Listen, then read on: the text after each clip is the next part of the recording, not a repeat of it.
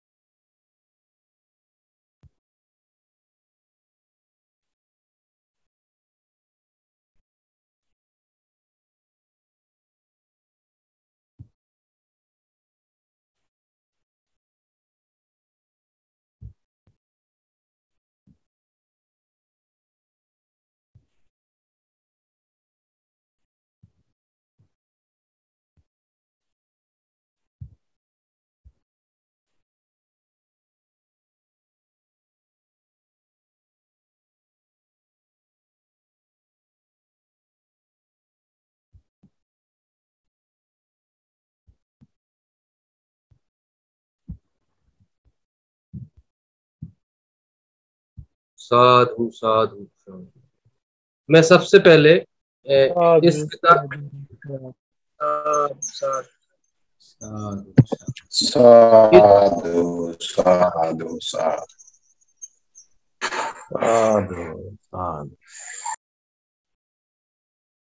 मैं सबसे पहले इस किताब की छोटी सी रूपरेखा के लिए हमारे धम्मलिपि और पाली प्राकृतिक भाषा समिति के सदस्य professor ma'am Shrimati Hemlata Maheshwar ma'am को आमंत्रित करूँगा क्योंकि संक्षिप्त भूमिका से सभी सदस्य गणों को अवगत कराए।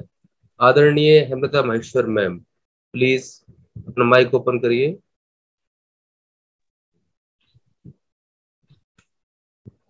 धन्यवाद मोतीलाल जी। इस सभा में उपस्थित सभी विद्वत जनों को, कर्मठ जनों को मेरा जय भीम, नमो बुद्धाय। किताब की किताब के विमोचन की सूचना जब मोतीलाल जी ने दी तो मैं कुछ अतिरिक्त उत्साह में आ गई थी और अपने सारे लोगों को मैंने कल के कल ही मैसेज कर दिया कि आज किताब का विमोचन है।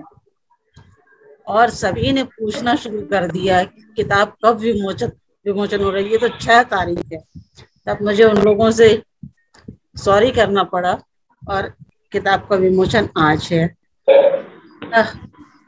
मोतीलाल जी, आपकी कर्मठता को मेरा सलाम है कि आपने लग करके ये किताब अंततः प्रकाशित करवा ही दी। किताब यूँ तो ही आ जाती यदि सामान्य समय होता। जैसा कि कहा गया, नाम लिया गया अमृतलाल जी के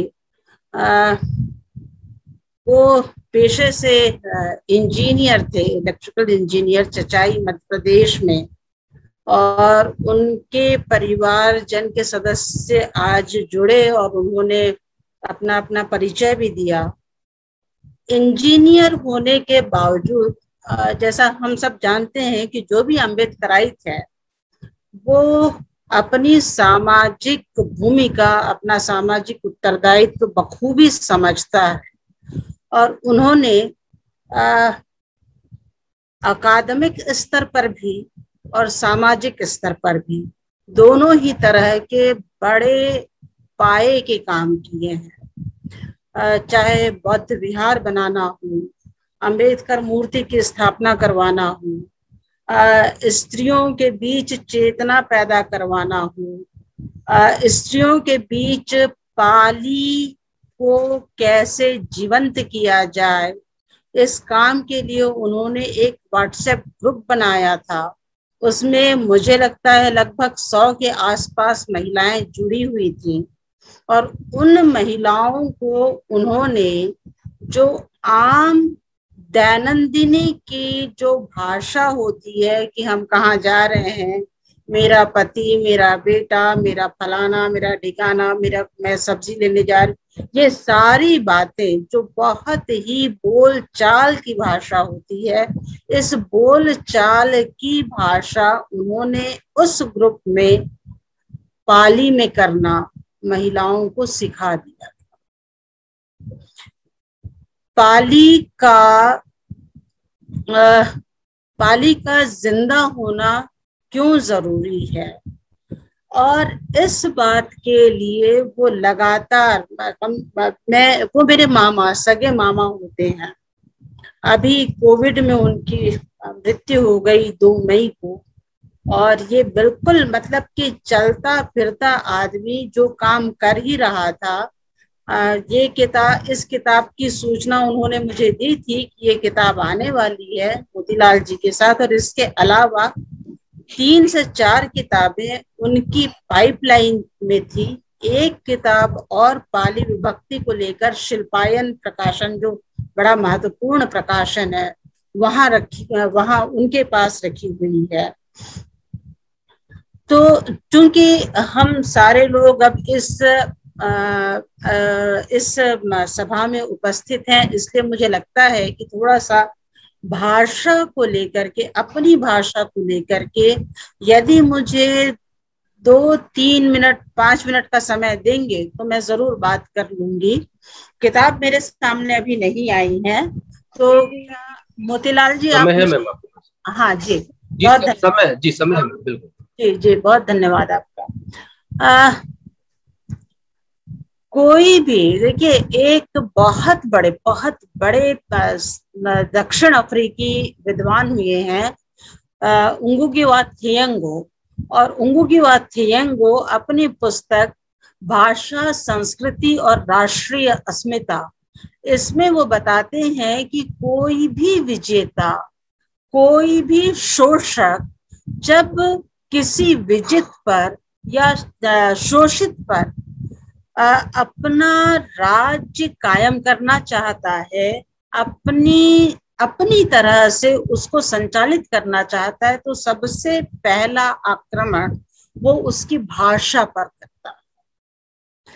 जैसे ही आप, अब आप देखते हैं कि हम लगातार अपनी भाषा के प्रति, हम हिंदी भाषा को लेकर के भी किस तरह से किसी अंग्रेज़ी बोलने वाले के सामने अपमान बोध से भरे हुए होते हैं, और वो अंग्रेज़ी बोलने वाला बहुत अपने आप को सम्मानित महसूस करता है, और हिंदी बोलने वाला उसके सामने बहुत निरीह बिल्कुल इसी तरह से अन्य भाषाएँ भी चाहे वो स्थानीय स्तर पर हम आदिवासी भाषाओं को लेकर के बात कर लें या अन्य किसी तरह, इस तरह की जो छोटे छोटे ग्रुप्स की भाषाएँ हैं, वो भाषा वाला अपने आप को सामने वाले की जो भी उस पर शासन करना चाहता है, उसकी भाषा के सामने स्वयं को बहुत छोटा महसूस करता है उसको ये करवाया जाता है।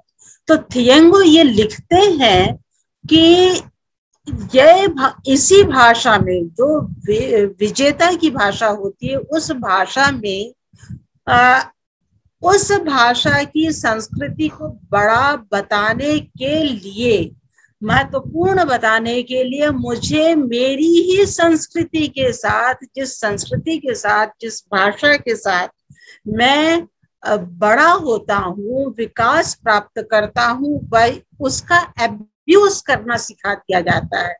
और वो अपने पाठ्यक्रम में ऐसी चीज़ें रखता है कि उसकी संस्कृति का गुणगान करते हुए मैं अपनी संस्कृति का अपमान अपने ही मुँह से करने लगता हूँ।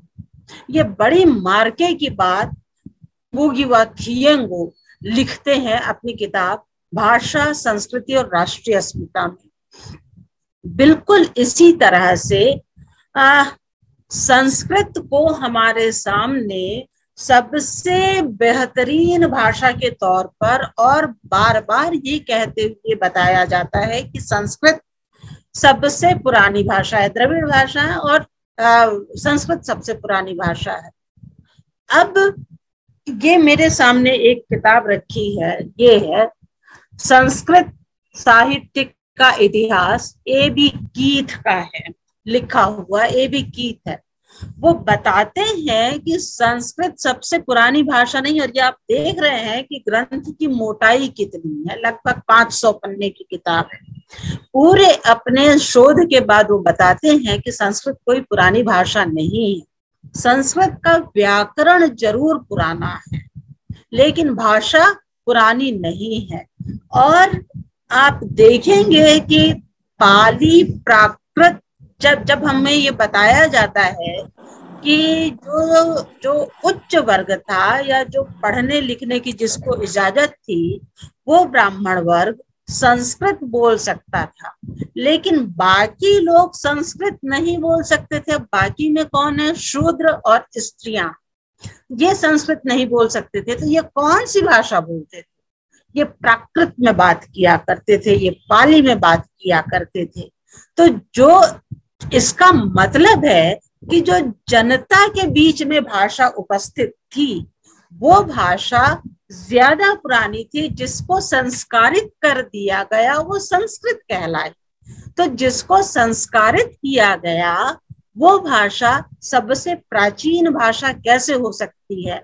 तो ये एक बहुत बड़ा सवाल मैं आप लोगों के सामने यहाँ रखना चाह रही हूँ।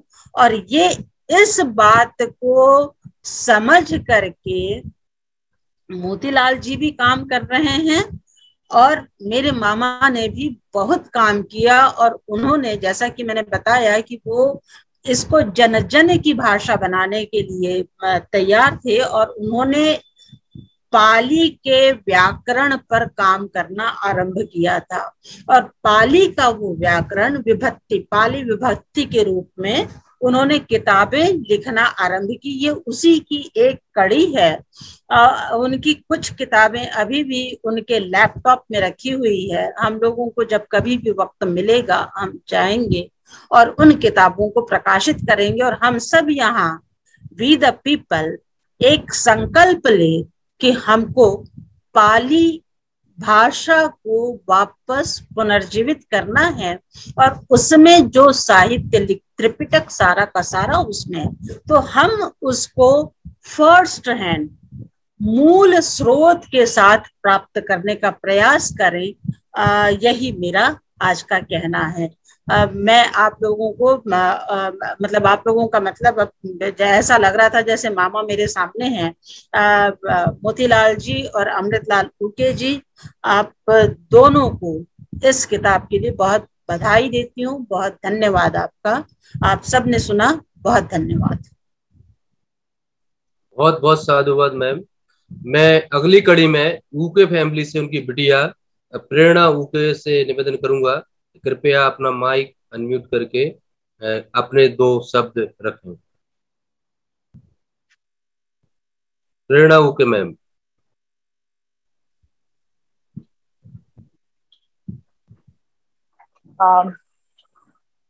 सभी को एक बार फिर से मेरी तरफ़ से जय भीम और नमो बुद्धाय।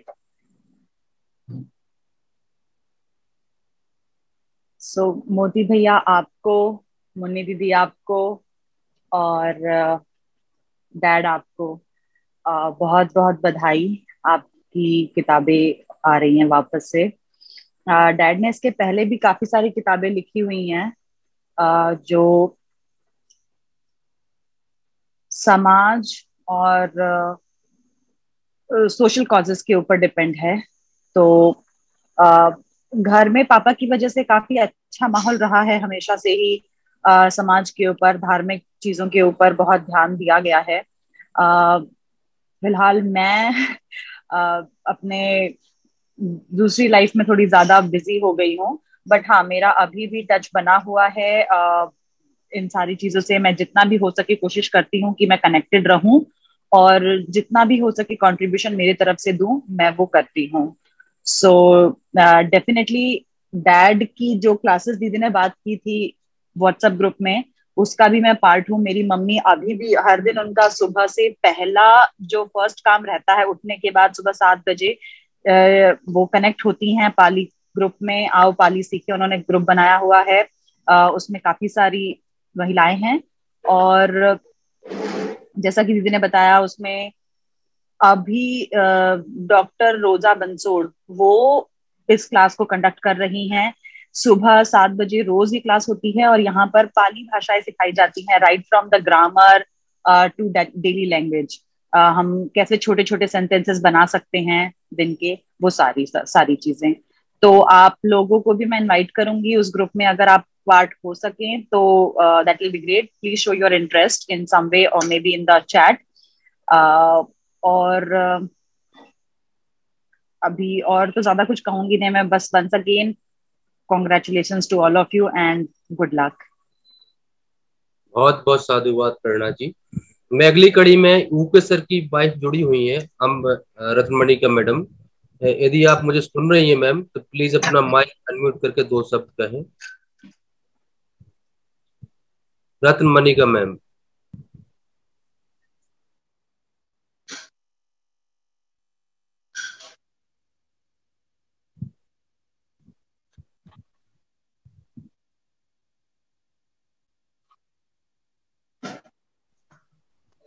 अपना माइक खोलिए। रत्नमणि का मैम, आवाज़ आ रही है मेरी?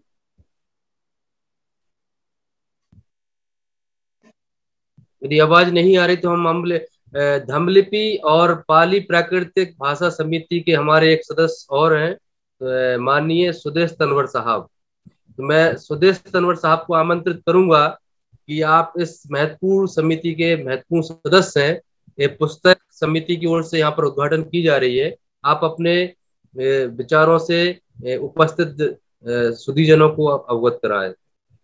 सुदेश तनवर साहब मैं अगली कड़ी में रत्नमणि का ऊके मैम को आमंत्रित करता हूँ। रत्नमणि का ऊके मैम आदरणीय अमृतलाल ऊके मैम की पत्नी है। मैम प्लीज़ अपना माइक ओपन करें। जी ओपन है प्लीज़। अपने दो शब्द रखिए मैम। थैंक यू धम्मलिपि और पाली व्याकरण। उसके आगे मोतीलाल आलमचंद्र और अमृतलाल लुके नाम देखते ही मुझे बहुत आनंद हुआ। लगा कोई तो है उसके साथ के काम को ज़िंदा रखने के लिए। मुझे पहली मुलाकात में मोती जी बहुत अच्छे लगे। सिंपल, सोबर नेचर अपनी प्रतिभा के धनी हम दोनों उनके साहब और मैं। शाम को अक्सर घूमने निकलते थे। हमारी कॉलोनी में ही मोती जी का भी घर है। वहाँ कारपेंटर का काम चल रहा था। मगर खास बात ये थी कि ड्राइंग रूम में बहुत बड़ा सा पुस्तक लगा देखकर हम लोग तक पहुँचे थे। जाने पर पता चला आपकी आवाज़ स्पष्ट नहीं आ रही है। आवाज़ कम आ रही मैम आवाज़ कम आ रही है आपकी।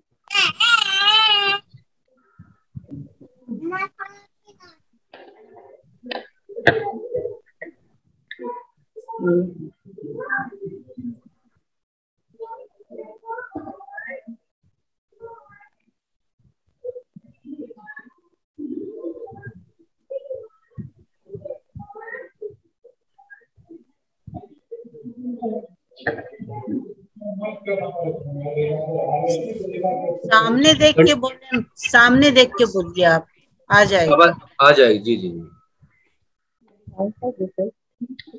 हाँ अब आ रही आवाज़ आ रही हाँ। अब आ रही है। अच्छा। साहब और मोती जी का सामाजिक कार्य क्षेत्र लगभग एक जैसा था। इसलिए आपस में फ्रीक्वेंसी मैच कर गई दोनों एक दूसरे के सलाहकार बन गए मगर, शायद काल को यह मंजूर नहीं था। फिर भी मुझे विश्वास है, मोती जी उनके साथ तो हमेशा जीवित रखेंगे। बस इतना कहकर मैं अपनी वाणी को विराम बहुत बहुत साधुवाद, मैम। भूखे साहब, हमेशा उनकी किताबों की बदौलत हमारे बीच, समाज के बीच हमेशा कई हज़ार साल तक जीवित रहेंगे, मैम।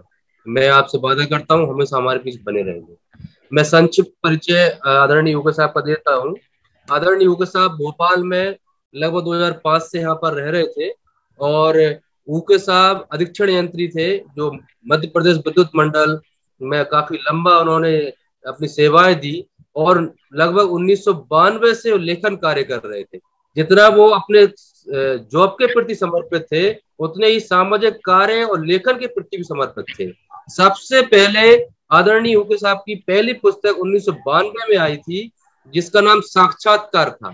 फिर उन्नीस सौ पंचानवे में आरक्षण फिर उसके बाद 2000 उन्नीस में आरक्षण और हिंदू मानसिकता मोतीलाल जी।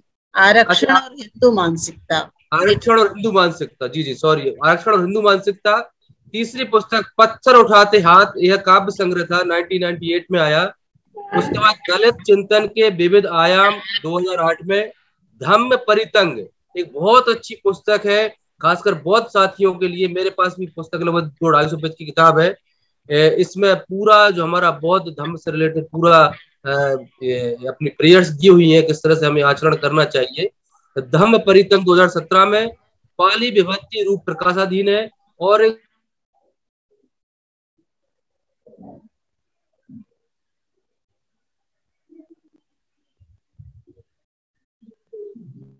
गई धम्म लिपि और इसकी परिकल्पना एक्चुअली मैं और उनके साथ दोनों पड़ोस में रहते थे और हम काफ़ी हमारा मिलना जुलना लगभग अल्टरनेटिव पे हो, होता ही रहता था। एक्चुअली मेरा अपडाउन चलता था जहाँ से मैं दूसरी जगह अपडाउन करता हूँ। और हमारा एक कॉन्सेप्ट था कि भारत में अभी ऐसा कोई भी कोर्स नहीं है पाली के लिए जिससे बच्चा इनिशियल स्टेज से सीख सके। जो पुस्तकें उपलब्ध हैं वो उनमें थोड़ी ऐसी भाषा है कि वो आम जन की पहुँच से या उनकी समझ में उतनी आसानी से नहीं आती। पाली पर जो काम कर रहे थे उनके साहब एक्चुअली वो जनमानस की भाषा थी, हमारे घर की भाषा थी, जो हम घर में जो शब्द उपयोग करते हैं, जो हमारे बच्चे उपयोग करते हैं, रोज, जो रोज़मर्रा हम जो शब्द उपयोग करते हैं, वह शब्द वह डेली पढ़ाते थे। और यह क्लास लगभग डेढ़ साल से आओ पाली सीखे। धम लिपि करके एक ग्रुप है, आदरणीय यू के सामने गठित किया गया था, और लगातार लगभग डेढ़ साल उन्होंने क्लासेस ली। और उसमें खासकर महिलाएँ जुड़ी हुई हैं। और महिलाएँ पाली बोलना सीख गई। लेकिन ऊके साहब के जाने के बाद जो क्लास शाम को चार बजे होती थी इसी क्लास को संचालित करने के लिए दूसरे आचार्य को फिर ढूंढा गया। तो बिमल कीर्ति सर, जो नागपुर के बहुत बड़े पाली के विद्वान थे, उनकी बिटिया है रोजा बंसोड मैडम। उनको आमंत्रित किया गया कि समूह को संचालित करें। पर उसमें समय का बदलाव भी किया गया। अब रोजा बंसोड़ में हम सुबह सात बजे से सात से चालीस तक चालीस मिनट की क्लास जूम मीटिंग पे लेती हैं। जो भी सज्जन इस ग्रुप से जुड़ना चाहें तो भाई मुझे पर्सनल या ग्रुप में मैसेज कर दें तो हम उनको उस ग्रुप में जोड़ लेंगे। उस सुबह उस ग्रुप में सात बजे से लेके चालीस, सात चालीस तक उसमें जो भी लेक्चर्स होते हैं, उसको आप आराम से सुन सकते हैं और उसको संवाद कर सकते हैं और सीख सकते हैं। एक्चुअली पाली क्यों महत्वपूर्ण है? पाली के ऊपर हमने 2019 में एक छोटी सी संगोष्ठी भी की थी भोपाल में भोपाल के हिंदी भवन में और एक दूसरी संगोष्ठी धम्मलिपि पाली संगायन करके एक नाम से हम सांची में करने वाले थे लेकिन एक कोरोना बीमारी का लॉकडाउन आने के कारण और उसके बाद उसी बीच में हमारे बीच से आदरणीय यूके साहब का चले जाना कुछ चीज़ें ऐसी हुई कि धम्मलिपि पाली संगायन वो किसी वजह से नहीं हो पाया। मैं आपको यह बताना चाहता हूँ कि पाली क्यों आवश्यक है? जैसा कि अभी हेमलता मैम ने बताया, कई उदाहरण दिए, दक्षिण अफ्रीका से उदाहरण लिए। चलिए आप बाबा साहब को ही पढ़िए। बाबा साहब का वॉल्यूम नंबर 16 पूरा का पूरा पाली के ऊपर है, पाली डिक्शनरी है। उसमें पाली से इंग्लिश, पाली से गुजराती, पाली से मराठी मतलब इतनी विविधता एक महान व्यक्तित्व इतनी विविधता लेके कैसे कार्य कर सकता? आपको ताज्जुब होता होगा। तो पाली को इतना क्यों फोकस किया? इतना महत्वपूर्ण समय अपने जीवन का, जो कई तरह से वो राजनीतिक और सामाजिक अपने जीवन में लगाए हुए थे, उससे चुराकर उस जीवन को एक पाली ग्रंथ पर उन्होंने कॉन्सेंट्रेट किया। तो इससे आप अंदाज़ा लगा सकते हैं, पाली का महत्व हमारे जीवन में क्यों है? और आप संविधान पढ़ेंगे, संविधान का आर्टिकल 29 कहता है कि आपको जो भी अल्पसंख्यक हैं या अल्पसंख्यक के इतर वाली भाषा और लिपि और संस्कृति, तीनों का संरक्षण करने का अधिकार है। यदि आपकी लिपि और आपकी भाषा स्वयं की नहीं है तो आपको आसानी से गुलाम बनाया सकता है। आपके ऊपर विरोधी संस्कृति आगंतुक संस्कृति बड़े आसानी से अपनी भाषा थोप कर आपको गुलाम बना सकती है। वही होता आया है। एक्चुअली जितना भी आप ढाई हज़ार साल का इतिहास देखेंगे वो भाषागत द्वंद के अलावा कुछ नहीं है। पूरा का पूरा भाषागत द्वंद है। जो प्रचलित शब्द हिंदी में पाली भाषा में यहाँ पर थे, जो हमारी पक्ति भाषा में यहाँ पे थे, बाद में आगंतुक संस्कृतियों की भाषा यहाँ पर आई। उन्हीं भाषाओं को जो प्रतिष्ठित शब्द थे भाषा के, उन शब्दों को तोड़ा मरोड़ा और उनको हीन शब्द, उनको हीन अर्थ दे दिया। सिर्फ़ भाषागत लड़ाई के आधार पर, भाषागत वर्चस्व के आधार पर ही वो 2000 साल से आपको बेवकूफ़ बनाए हुए हैं। तब तक आप अपनी स्वयं की भाषा, स्वयं की लिपि विकसित नहीं कर लेते, तब तक आप अपनी संस्कृति का निर्माण नहीं कर सकते। ये अपना समण संघ भी स्थापित नहीं हो सकता। समण संघ के चिरस्थायी होने के लिए आवश्यक है कि उसकी लिपि हो, उसकी अपनी भाषा हो। अशोक का शासन महान ऐसे ही नहीं रहा। अशोक का शासन महान इसलिए रहा क्योंकि उनकी अपनी लिपि थी, अपनी पाली भाषा थी। और अपनी पाली भाषा इतनी महान थी इतनी विश्व में इतनी अधिक उसका वैल्यू थी कि उसके जो शब्द हैं वो एवन होते हुए यूरोप और अमेरिका तक पहुँचे और उन जो वहाँ की तमाम भाषाएँ थे उन्होंने ग्रहण किया। एक्चुअली ये भाषाई श्रेष्ठता का उदाहरण था जो आज हम अंग्रेज़ी को इतना महत्व देते हैं अंग्रेज़ी की श्रेष्ठता स्वीकार करते हैं अंग्रेज़ी के शब्दों को सब तमाम भा, देसी भाषाएँ या अन्य भाषाएँ अन्य विदेशी भाषाएँ भी उसको बड़े आसानी से अपनी भाषा डिक्शनरी में स्वीकार कर लेती है। क्यों कर लेती है? क्योंकि भाषा की श्रेष्ठता है। भाषा को आपने अपने विचारों में उसको स्थान दे दिया कि अंग्रेज़ी भाषा श्रेष्ठ है। यही हाल अशोक के शासनकाल में पाली भाषा का था। मैं आपको कुछ एक उदाहरण से बताता हूँ, चुनिंदा को शब्द बताता हूँ कि पाली भाषा श्रेष्ठ कैसे थी। आप जो वर्तमान में जो सूप शब्द है, जो हम होटल में जाते सूप पीते हैं, ये सूप शब्द अंग्रेज़ी शब्द नहीं है।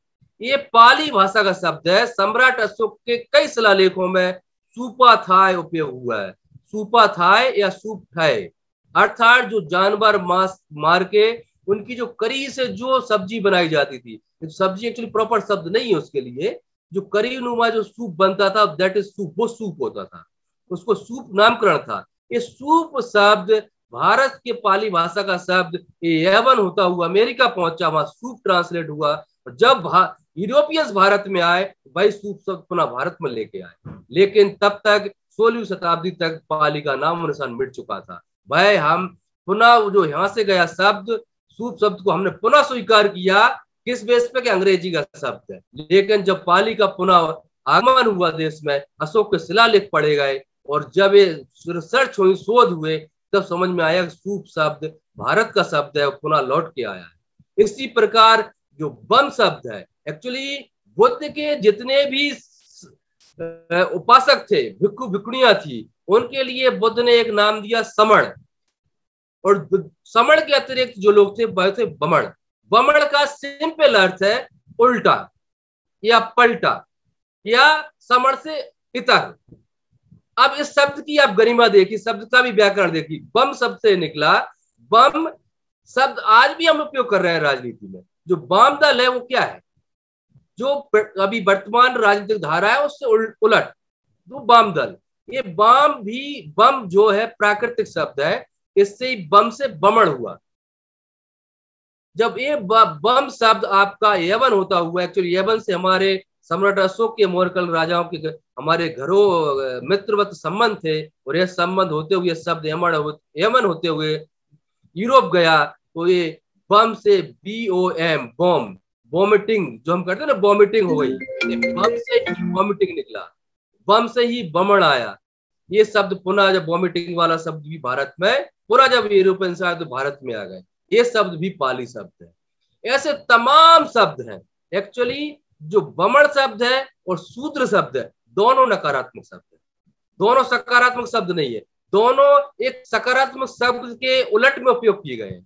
सूत्र शब्द पाली के शुद्ध से निकला है उसको सूत्र किया और बमण शब्द समण के विपरीत में उपयोग किया गया। समण समण शब्द भी आप और गहराई में जाएँगे, मन मन को और पाली प्रकृति में जाएँगे तो मण, और उसमें सा जोड़ दी सकारात्मक का तो समण। उससे विपरीत जो मण जिनका चित्त एक्चुअली मण का, मण बाद में अभी मन हो गया, पहले उस समय मण होता था, मण मण को ही चित्त का है। अच्छा अर्थात समण सचित्त जो लोग हैं, उससे व्रत रहने वाले उससे इतर चित्त वाले बमण। मतलब जो मूल शब्द मण है, मन है, मन में ही सजोड़ने समण और समण के उलट बमण। तो जो मूल जो शब्द है, उसके ही उलट बमण शब्द उपयोग किया गया। बमण से ही बमन और यही शब्द जब साउथ में गया, बमन को आधा माँ, एक्चुअली बाद में अभ्रंश हो गया आधा रा हो गया। है यही शब्द बर्मन हो गया। यही शब्द बर्मा हो गया है। और बाद में यही शब्द हिंदी में आती आती बामन हो गया है। ये शब्द एक ही है। अब इसका आप अर्थ में जाइए कि शब्द उपजा कैसे था। समण हेलो। समण के विपरीत उपजा शब्द है। समण के उल्टा उपजा शब्द है। इसका अर्थ ही उल्टा है। लेकिन जो उल्टा शब्द 2000 की यात्रा करते करते और उसका एक अधिकार होने के कारण उस नकारात्मक शब्द ने भी सकारात्मकता ग्रहण कर ली। उस नकारात्मक शब्द को आपने सकारात्मक रूप में स्वीकार कर लिया। जबकि शब्द सकारात्मक है ही नहीं है। जिस प्रकार शूद्र नकारात्मक शब्द है, उसी प्रकार बमण नकारात्मक शब्द लेकिन इतनी यात्रा के बाद, इतनी किताबों में घूमने के बाद, साहित्यिक यात्रा के बाद और आपकी संस्कृति नष्ट होने के बाद इस इस नकारात्मक शब्द ने एक ऐसी प्रतिष्ठा हासिल कर ली जिसको आप और हम आज सुनते बुनते हैं। लेकिन जब आप इसकी शब्द की गहराई में जाएँगे तो इसका अर्थ और कुछ है। और अशोक के शिलालेख के पहले इस शब्द का उल्लेख भी कहीं नहीं मिलता। अर्थात यह शब्द अशोक के शिलालेख या बौद्ध संस्कृति के साहित्य में ही मिलता है। तो एक सिर्फ़ कैसे हुआ? भाषा नहीं थी आपकी। आपकी लिपि खत्म कर दी गई इस वजह से खत्म हुई यदि आपकी लिपि, आपकी भाषा ज़िंदा होती तो आपके जो मूल इतिहास है वो ज़िंदा होता, आपकी किताबों में लिखा होता, और आप अपने मूल शब्दों से आप लगा होता, आप नकारात्मक शब्दों को आज सही नहीं मान रहे होते ये सब कैसे हुआ कि आपने अपनी भाषा खो दी, हमने अपनी लिपि खो दी। इसलिए बाबा साहब अंबेडकर ने इतने बहुत रिसर्च की, पाली पर बहुत गहन अध्ययन किया और उस पर बड़ी डिक्शनरी लिखी है। तो हमारा सबका दायित्व है कि पाली को जीवन में लाना पड़ेगा धम लिपि को जीवन में लाना पड़ेगा। यदि आपने अपनी लिपि, अपनी पाली विकसित कर ली, आचरण में ले आए, आपकी संस्कृति अपने आप आ जाएगी। आपको समता का अधिकार कभी भी हासिल नहीं हो सकता। आप सौ नहीं, सौ, दो सौ साल और लगा दीजिए, कभी हासिल नहीं हो सकता। आपको अपनी संस्कृति की लाइन, श्रेष्ठता की लाइन आप ऊंचाई पर ले जाना पड़ेगा। आपको श्रेष्ठता स्थापित करना पड़ेगी। जब सामने वाला आगंतुक तो आएगा कि हम समझौता करने तैयार है, समता के मौके पे हम समझौता करने तैयार है। आप उसके बिना लड़ेंगे, वो कभी तैयार नहीं होगा समता के लिए। ये हकीकत है। आपकी आपकी श्रेष्ठता, आपके पुरातात्विक साक्ष्य आपको कहते हैं। पुरातात्विक साक्ष्य आपको चिल्ला चिल्ला के कहते हैं, विरासत आपकी है, आप श्रेष्ठ थे। आपको सिर्फ़ पाली और लिपि को अध्ययन करना है, इसको जीवन में उतारना है। तब तक आप इसको नहीं लाएँगे, आप दूसरे की भाषा का शब्द शूद्र उपयोग करते रहिए और शूद्र बने रहिए। आप अपनी भाषा का शुद्ध उपयोग कीजिए ना, आप अपनी भाषा का समण उपयोग कीजिए ना, अपनी भाषा को उसके लिए बमण उपयोग कीजिए, वो वो बौखला जाएगा, वो बमण उपयोग नहीं सुनेगा। क्योंकि अभी इसलिए सुनता है कि उसको उसको पता है कि आपको आपके शब्दों का ज्ञान नहीं है। जब आपको आपके शब्दों का ज्ञान हो जाएगा, फिर ये शब्द आप उपयोग करेंगे, फिर उसको बुरा लगेगा। फिर वो वो अपना विरोध जताएगा ये शब्द ये शब्द उपयोग मत कीजिए। तो आपको अपनी भाषा और अपनी लिपि का स्थान उस हौदे पे ले जाना जिस हौदे पर सम्राट अशोक के शासन काल में थी सम्राट अशोक ने भी आप गहराई में जाए तो श्रीलंका क्या भेजा था? एक्चुअली पाली है क्या? पाली अर्थात बुद्ध वचन। या बुद्ध वचन ही पाली है। दोनों दोनों का दो, दोनों जो साइनोनाइम्स है या बुद्ध वचन कही या पाली कही एक्चुअली जो पाली शब्द है, जो प्राकृतिक भाषा हमारी चली आ रही थी, जब मोनेस्ट्री के लिए जब बुद्ध, भगवान बुद्ध ने धम्म चक प्रवर्तन किया तो उस समय उन्हें एहसास हुआ कि जो पक्ति जो प्राकृतिक पहले से भाषा चली आ रही है, भाई अपना ज्ञान, जो अपना बोध उन्हें प्राप्त हुआ, वो संप्रेषण करने के लिए उस भाषा में उपयुक्त नहीं है। तो भगवान बुद्ध ने प्राकृतिक भाषा से पाली को एक संशोधित रूप देते हुए पाली भाषा का इजाद किया। पाली अर्थात मोनेस्ट्री भाषा है। इसमें भगवान बुद्ध ने अपना पूरा ज्ञान पाली में दिया है। तो पाली और भगवान बुद्ध के वचन एक ही है। अब आप इसको गहराई में जाएँगे, श्रीलंका क्या गया था? भगवान बुद्ध के अवशेष भी वहाँ नहीं गए। वहाँ पर सम्राट अशोक ने क्या भेजा था? बुद्ध वचन ही भेजे थे और शाखा भेजी थी। बुद्ध वचन क्या है? पाली है। मतलब हमने भाषा भेजी थी और भाषा के आधार पर ही हमने धम्म विजय की।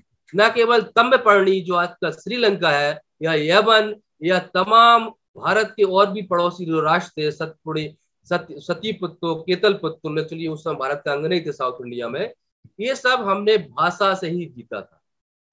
तो भाषा पाली भाषा और बुद्ध वचन हमारे लिए, हमारी संस्कृति के लिए बहुत अहम है। आपको शायद यह पता नहीं होगा, यदि हम जो संघ यहाँ पर चला रहे हैं समण संघ जो हम चला रहे हैं यह भी सफल नहीं हो सकता। यदि आपने लिपि और अपनी भाषा उसका महत्व नहीं समझा, इस देश में इस अपनी पृथ्वी पे आप देखिए इसराइल पृथ्वी पर कैसे उत्पन्न हुआ? उसने अपनी हिब्रू भाषा जीवित कर ली। और विश्व में अधिकांश नोबल प्राइज, छोटा सा देश, कितनी उम्दा तकनीक है। हम उसकी तकनीक के आगे कहीं नहीं लगते। उनकी अपनी संस्कृति, अपनी लिपि है, उसने जीवित किया। हमारी भाषा की लिपि, हमारा भाषा कई विदेशों ने जीवित रखा है। कई देश बुद्धिस्ट देशों को जीवित रखे हुए वहाँ से हमने पुनः उदार लिया तो तब तक आप पाली और धम्म लिपि को जीवित नहीं कर लेते, तब तक आप श्रेष्ठता का सोपान हासिल नहीं कर सकते। आप कितनी भी लड़ाई लड़ लें, संविधान भी आपको हक नहीं दिला पाएगा। आपको अपना जो श्रेष्ठता का पायदान है, उसको अपने पुरातात्विक साक्ष्यों के ऊपर रखकर आपको श्रेष्ठता स्थापित करना होगा। और यह श्रेष्ठता विश्व समुदाय मानेगा। आगंतुक को भी एक दिन मानना पड़ेगा। नहीं अंदरूनी तौर पर आज भी मानता है लेकिन आपके सामने स्वीकार नहीं करेगा। उसको स्वीकार करना पड़ेगा। तो सम्राट अशोक का जो अभिलेख है इस, इस फ़ोटो दिख रहा होगा ये सम्राट अशोक है अशोक को लिखा है इसी भाषा में लिखा है। सम्राट अशोक के जो अभिलेख है उनमें एक अभिलेख नहीं ढेरों अभिलेख है। लगभग इतनी इनकी अभिलेखों की किताब बनाई जाए तो अठारह उन्नीस हज़ार वर्ड्स हैं उसमें उनके इतने वर्ड्स इतने शब्द लिखे हुए हैं। और उस, उन्होंने जो शब्द लिखे हैं, उसके लगभग 416 साल बाद संस्कृत भाषा का एक अभिलेख मिलता है। वह भी संस्कृत लिपि में नहीं है, वो लिपि भी बुद्ध लिपि है, धर्म लिपि का ही उपयोग किया गया है। और आपको जानकर आश्चर्य होगा, वो अभिलेख गिरनार का अभिलेख है, रुद्र दमन सख छत्रप था, उसने लिखवाया था, और भय अभिलेख भी सम्राट अशोक के चतुर्दश शिलालेख के नीचे ही लिखा हुआ है। अर्थात लिपि भी सम्राट अशोक की ली है। और वह अभिलेख भी पूर्णतः संस्कृत का अभिलेख नहीं कह सकते। भाई 150 एडी का है और सम्राट अशोक के अभिलेख दो से चालू हो जाते हैं। अर्थात 416 410 साल बाद एक अभिलेख मिलता है, वो भी धम लिपि मिलता है। कालांतर में उन्होंने धम लिपि को एकदम साइडलाइन करके संस्कार संस्कारित भाषा ईजाद की और उस भाषा के आधार पर आपके प्रतिष्ठित शब्दों को हीन, हीनता प्रदान कर दी, उनमें हीनता भर दी और उन शब्दों को पुकार पुकार के आपने भी मान लिया कि हम ही। नहीं है 1848 में महाराणा ज्योतिराव फुले ने जब शिक्षा का शुभारंभ किया, जो हम हिंदी पढ़ रहे हैं एक्चुअली या इस हिंदी की जगह कालांतर में हमें यदि पाली पे हम ध्यान दिए होते 200 साल पहले भी, डेढ़ सौ साल पहले भी हम यदि पाली को अपनाए, अपना लिए होते, तब भी हम बहुत कुछ बचा लिए होते। एक्चुअली हमारी जो एक पीढ़ी है उसके दो पीढ़ी, आप मान लीजिए उसकी समस्त पीढ़ियों में मौखिक रूप से पाली का ज्ञान मौजूद था। आप अपनी नानी अपनी दादी को देखिए, उनके नामकरण देखिए आप। वो सभी के सभी पाली में थे। लेकिन हमने शिक्षा का जो एक दो पीढ़ी में शिक्षा आई तो हिंदी की शिक्षा आने के कारण हमारे पाली के जो मूल शब्द थे ध्याति शब्द जिनको कहते हैं, वो शब्द हमारी संस्कृति से, हमारे आचरण से व्रत हो गए, हमारे आचरण से दूर चले गए।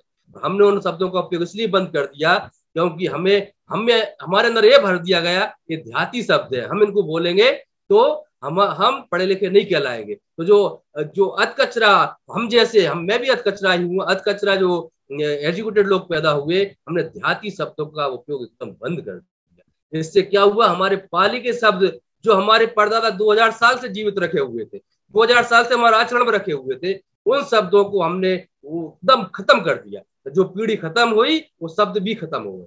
आप अपनी दादी के नाम सुनिए श्रिया होता था। श्रिया आप श्री हो गया। श्रिया पाली शब्द। और भी बहुत शब्द होते थे। मेरे पिता का नाम है आलम चंद्र जो मैं लिखता हूँ। एक्चुअली मेरे दादा पुकारते थे, उनको अलमा। मैं बड़ा आश्चर्य में रहा। एक्चुअली मेरे दादा कम पढ़े लिखे थे, पिताजी थोड़े पढ़े लिखे हैं। मैं बहुत दिनों तक आश्चर्य में रहा, ये अलमा शब्द कहाँ से आया? मेरे दादाजी बोलते थे, अलमा, अलमे। और उनका नाम है आलम। अभी आलम चंद्र लिखता हूँ मैं। तो मुझे दिमाग में कई लोगों ने मित्रों ने बोला, ये उर्दू शब्द कहाँ से आ गया? मेरे दिमाग में कई बार कि उर्दू शब्द कहाँ से आ गया हमारे जब मैंने सम्राट अशोक के अभिलेख पढ़े जो सम्राट अशोक का द्वितीय शिलालेख है कौशंबी का, रानी का, उसमें उपयोग हुआ आल में। जब हमारी बैठक शुरू हुई थी मानी सुधीराज सर में भी काफ़ी उस पर अभी यारी बात चल रही थी, आराम। एक्चुअली जो आराम शब्द है, जब उत्तराखंड तरफ़ गया एक्चुअली वहाँ पर ला को, रा को ला बोला जाता वही आराम होते हुए आलाम हो गया।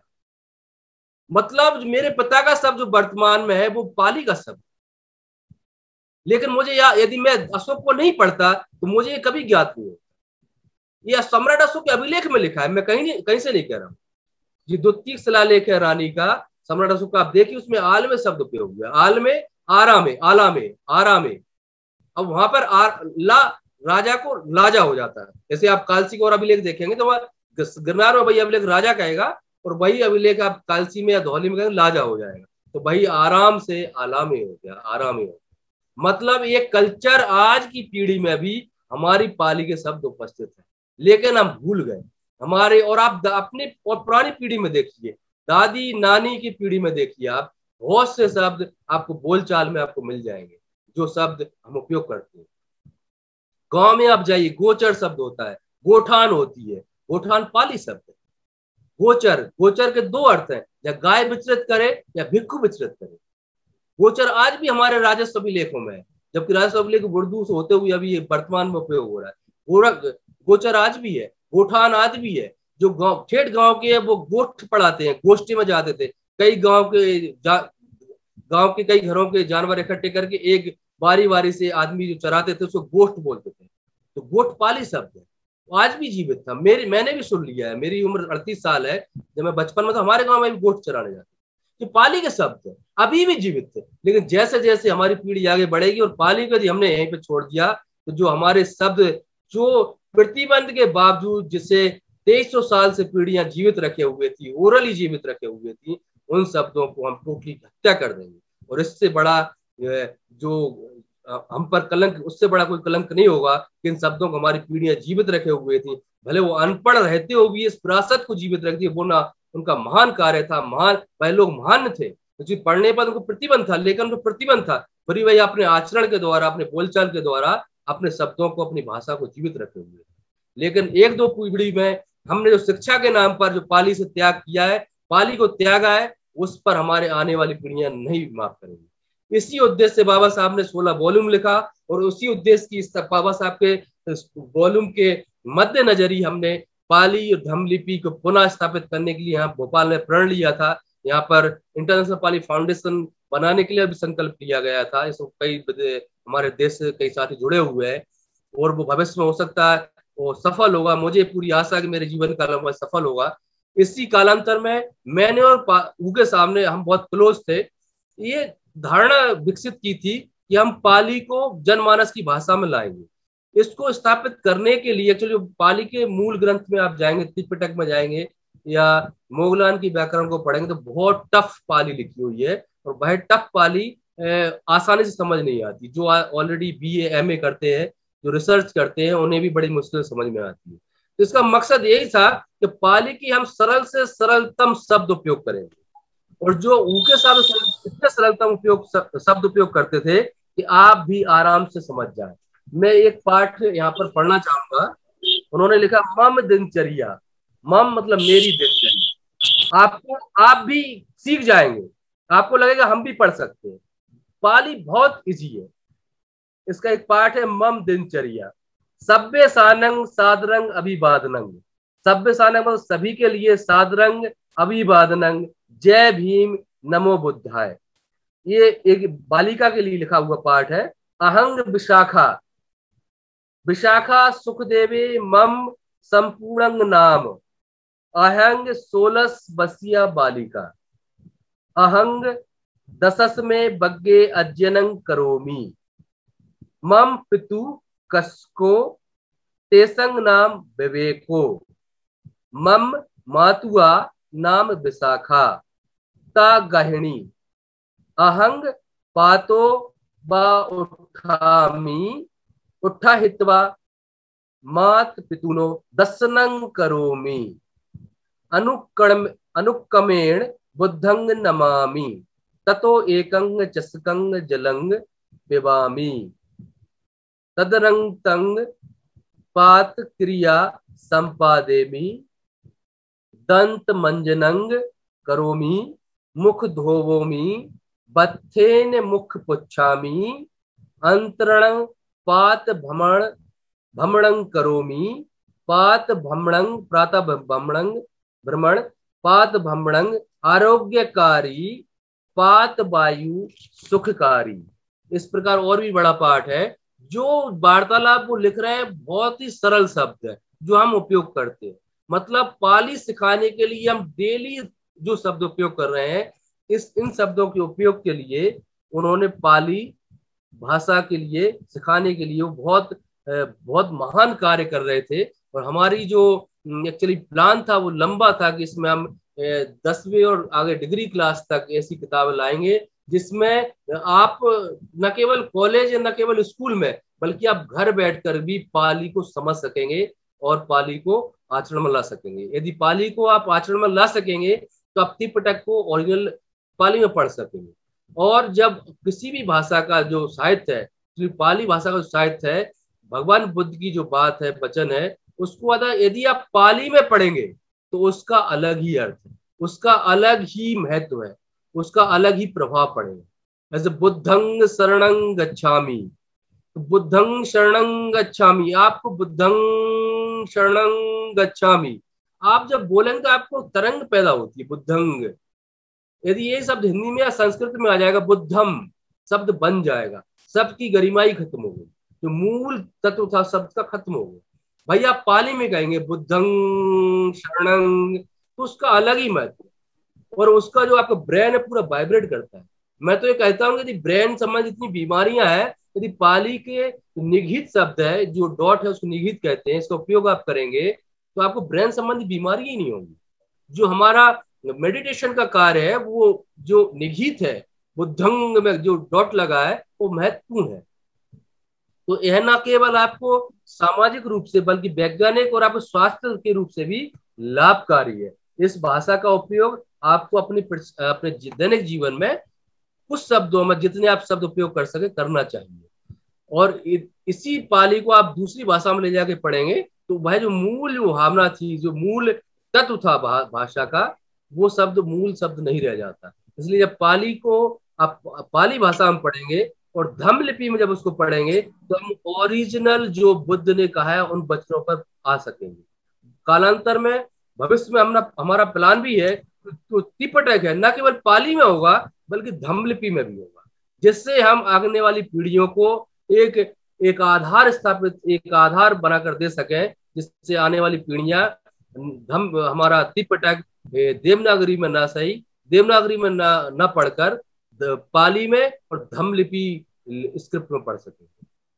तो ये, इस तरह यदि हम स्थापित कर, करने में सफल हो जाते हैं तो मेरा मानना है कि हम बौद्ध धर्म को हमारे समर्थ संस्कृति को एक नया जीवन प्रदान करने में सफल हो जाएँगे। और जो हमारा विरोधी है उसके लिए, उसके साथ हम डटकर मुकाबला कर क्योंकि तो हमारी लिपि पृथक होगी और हमारी भाषा पृथक होगी। हमारी भाषा पृथक होगी, हमारी लिपि पृथक होगी। स्वाभाविक स्वाभाविक रूप से हम पुरातात्विक साक्ष्यों के आधार पर उनसे भारी होंगे। और हमारी जो महिमा है, हमारे ग्रंथों की महिमा है, बुद्ध के वचनों की महिमा है, सम्राट अशोक के जो अभिलेखों की महिमा है, उसके आधार पर विश्व समुदाय हमें श्रेष्ठता की पदवी, हमें आराम से प्रदान कर देगा। हमें समता के पीछे भागने की आवश्यकता नहीं होगी, हमें श्रेष्ठता के पादान पे समुदाय बैठाने। तो पाली और धम्म लिपि बहुत आवश्यक है।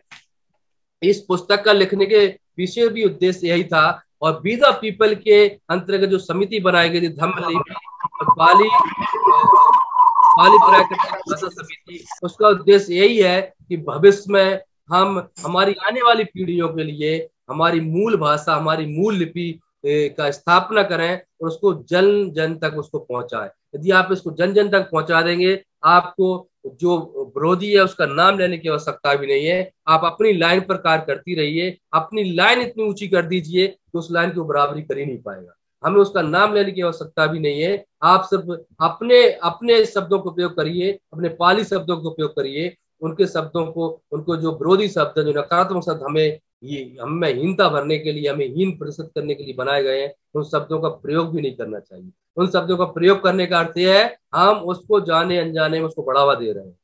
हम उसको, हमको उनके जो उन्होंने जो ढेरों अत्याचार किए उनको भी गाना गाने की आवश्यकता नहीं है।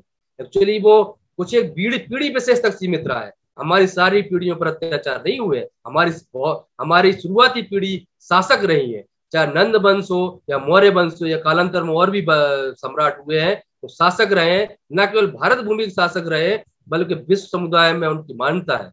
विश्व समुदाय तक उनके शासक फैले हुए थे। सम्राट अशोक का शासनकाल ईरान तक फैला हुआ था। उनके अभिलेख आपको मिस्र तक मिलते हैं। तो हमारा जो राज था, वो सीमित क्षेत्र में नहीं था। उन बहुत विराट और विस्तृत क्षेत्र में था। जो विरोधी है, उसके शासक हमें कहीं देखने को नहीं मिलते। रियासतों में देखने को मिलती है छोटे छोटे कस्बों में देखने को मिलते हैं। तो तुलना तो कहीं हो ही नहीं सकती है। तो उसकी हमें ना तो बात करने की आवश्यकता है, हमें अपने पाली साहित्य के आधार पर जो हमारा ज्ञान है, जो सम्राट अशोक के शिलालेखों के आधार पर जो हमें ज्ञान प्राप्त हुआ है, जो विश्व समुदाय ने हमारा ज्ञान संजो कर रखा है, उन हमारे साहित्य के आधार पर पर हमें अपने साहित्य के आधार पर हमें श्रेष्ठ स्थापित होना है, हमें अपने आप को श्रेष्ठ मानना है। जब तक आप विरोधी का गाना अलापेंगे, आप अपने आप में श्रेष्ठता का भाव पैदा नहीं कर पाएँगे। इसलिए मेरा एक आपसे अनुरोध है कि आप पाली के आधार पर, हमारे पुरातन इतिहास के आधार पर, हमारे पुरातत्व साक्ष्य के आधार पर, ये आप अपने आप में लाइए, फील कीजिए कि मैं श्रेष्ठ हूँ। मेरे मेरे वंशज श्रेष्ठता के भाग रहे हैं। मेरे वंशज, मेरे वंशजों ने दूसरे लोगों को लिपि दी है। जो आगंतुक संस्कृतियाँ उनको लिपि दी है, लिपि दान दी है तो मैं तो ऐसे पुरखों की संतान हूँ, इस देश को ही नहीं, पूरे विश्व समुदाय की अधिकांश भाषाओं को, टिबेटन भाषा परिवार को, भारतीय भाषा परिवार को, द्रविड़ भाषा परिवार को, सभी भाषा परिवारों को मेरे पुरखों ने लिपि का ज्ञान दिया है। तो ये सबसे पुरानी लिपि है धम्म लिपि और धम्म लिपि के आधार पर ही आपको भारतीय मूल की शेष भाषाओं की जो लिपियाँ यहीं से निकली है। इवन आपको तमिल लिपि भी यहीं से निकली है। इस पर भी मेरी एक रिसर्च है भविष्य में आपको वो पढ़ने को मिलेगी। जो तमिल लिपि है और देवनागरी लिपि है, दोनों का उद्गम धम्म लिपि पर ही है। दोनों लिपि इसी लिपि से निकली है। तो ये पाली और धम्म लिपि न केवल हमें भाषाई आधार पर हिंदी भाषा को एकजुट करेगी, बल्कि हमारे साउथ के भाइयों को भी हमसे एकजुट कर लेगी। जब वो पढ़ेंगे कि धम्म लिपि ही उनकी तम, तमिल लिपि की वो जननी है, तमिल लिपि की मदर स्क्रिप्ट और आज तमिल लिपि की आप देखेंगे इस पर बहुत राउंड राउंड हुआ है, बहुत गोल गोल हुआ है। देवनागरी के नहीं, बहुत राउंड राउंड कर दिए। जब ये दोनों आप पीछे ले जाके देखेंगे और फ्लैश बैक में जाएँगे तेईस साल पहले एक सरलतम शब्दों पर दोनों लिपियाँ खत्म होती है, जिनका शुरुआत होता है। तो ये हमें न केवल साहित्यिक रूप से, बल्कि धार्मिक रूप से धार्मिक रूप से भी साउथ से, साउथ के भाई बंधुओं को भी हमसे जोड़ेगी। तो हम इस लिपि के आधार पर, पाली भाषा के आधार पर जो पूरा का पूरा इतिहास ही भाषाई द्वंद का रहा है। भाषाई द्वंद के आधार पर ही हमको उन्होंने हमें हिंसा भरी है और कोई खास कार्य नहीं है। उसी द्वंद को हम केवल भाषा के उत्थान के आधार पर ही धम्म लिपि के उत्थान के आधार पर हम पुनः श्रेष्ठता को पायदान पर खड़े हो सकते हैं। जब आप श्रेष्ठता के पायदान पर खड़े हो जाएँगे तो ऑटोमेटिक जो तितली जो, क्या बोलते बिच्छू ततैया जितने भी आस पास उगाए हैं वो सारे के सारे भाग जाएँगे। या सरेंडर कर देंगे वो समर्पण कर देंगे पुनः समर्पण कर देंगे। और आप आपको समता की बात करने की आवश्यकता ही नहीं पड़ेगी। जो आगंतुक है वो खुद आपके पास आएगा चल के कि आप समता की समता पर हम तैयार है समता पर समझौता करने के लिए तैयार है। तब आप उस पोजीशन में होंगे कि हमें समझौता करना है कि नहीं। एक्चुअली आपके पास प्रातात्विक साक्ष्य है विश्व समुदाय आपके साथ है।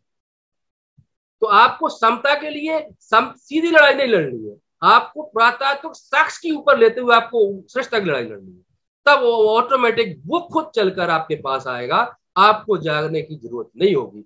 इतिहास भी यही कहता है साक्ष्य भी यही कहते हैं, हमारे पुरखे भी ये कहते आए हैं, और वही बात हमको मानना है। भाई बी द पीपल कहता है भाई समण कहता है भाई संघ कहता है। और आप बिना पिटक को पढ़िए, उसमें कितनी हमारी बात है उन्होंने अपना ली है। जो लहसुन नहीं खाने की बात है ना, आप पढ़िए बिना पिटक में। जो पाचित्य है, प्रथम पाचित्य ही है बिना पिटक में, जो दिया लहसुन पर पाबंदी लगाई है लेकिन आपकी संस्कृति से गायब हो गई, आप तो खाते हैं लहसुन। उन्होंने मान लिया कि हम लहसुन नहीं खाते। अब लहसुन खाते आप अच्छी बात है, क्योंकि बुद्ध कहते हैं, क्यों बुद्ध मना करते हैं लहसुन खाने के लिए?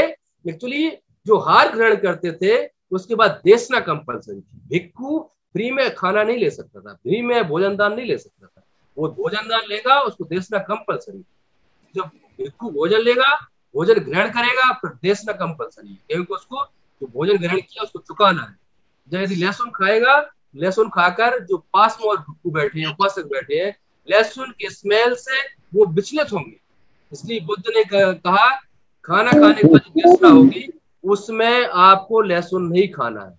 लेकिन यदि आप बीमार है तो आप लहसुन खा सकते लहसुन एक्चुअली औषधि तो जो जो पाचित्य जो आपका विनय पिटक में लिखा हुआ पहला ही पाचित्य पाचित्य मतलब प्राश्चित एक्चुअली विनय पिटक में आठ भाग दिए हुए हैं, जो नियम तोड़ने के लिए, जो नियम जैसा तोड़ेगा, वैसा उसको दंड है।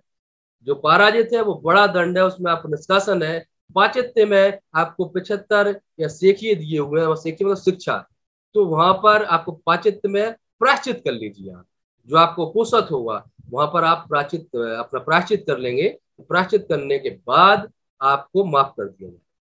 ये पाली, मैं थोड़ा सा लंबा खिंच रहा हूँ, यदि ज़्यादा हो तो बता दीजिएगा।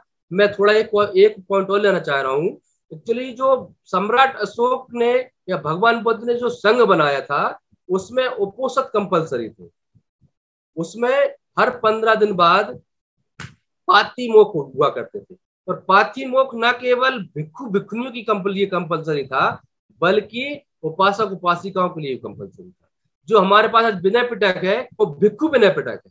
हमारे पास भिक्खुनिया को विनय पिटक या भिक्खु विनय पिटक का संयुक्त कर दिया गया है, लेकिन जो उपासक और उपासिका विनय पिटक है, वो हमारे पास उपलब्ध नहीं है मतलब वो खत्म हो चुका है।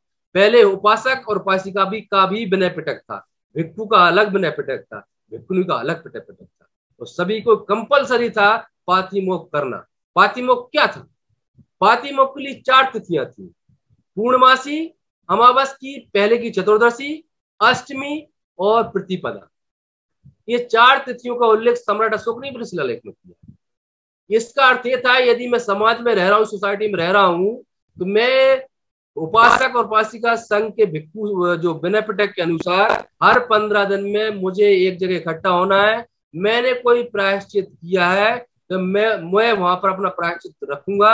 संघ निर्णय लेगा, मुझ पर क्या निर्णय दंड देना इसी प्रकार भिक्खुनी संघ का भिक्खुनी संघ में भिक्खुनी रखेगी, भिक्खु संघ में भिक्खु अपना रखेगा। आप समझिए, यदि इस तरह की व्यवस्था आज प्रचलन में होती तो आज अपराध होते, अपराध हो ही नहीं सकते।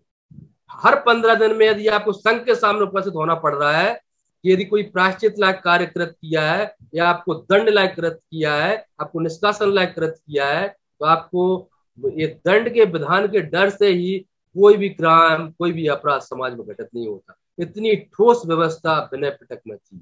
और ये विनय पिटक की जो व्यवस्था है, सम्राट अशोक ने अपने शिलालेखों में लिखवाई है। सम्राट अशोक ने शिलालेख जो लिखवाए हैं तो राजनीतिक नहीं है। सम्राट अशोक उस शिलालेख में लिखते हैं कि इन शिलालेखों को हर चतुर्मास में आपको पढ़ना है, आपको सुनना है, इसमें लिखा हुआ है और इनमें पालन करना है। तो ये जो भगवान बुद्ध का जो विनय पिटक है, जो विनय पिटक को ही सम्राट अशोक आगे बढ़ाते हैं कालांतर में और आगे रहता है, लेकिन हमारे वर्तमान समय में ना हमारे पास अपना खुद का विनय पिटक है, सिर्फ़ भिक्खू संघ का विनय पिटक है, उसके आधार भी, आधार पर भी हम, और संविधान के आधार पर भी यदि हम अपना लाइफ को, अपने आचरण को सुधारे तो अभी भी हम कुछ हद तक उस स्टेज पर पहुँच सकते हैं जहाँ से हमारे पूर्वजों ने, जहाँ से हमारे पुरखों ने शुरुआत की थी, सिक्का देना शुरुआत की थी, जहाँ से देशना देना शुरुआत की थी।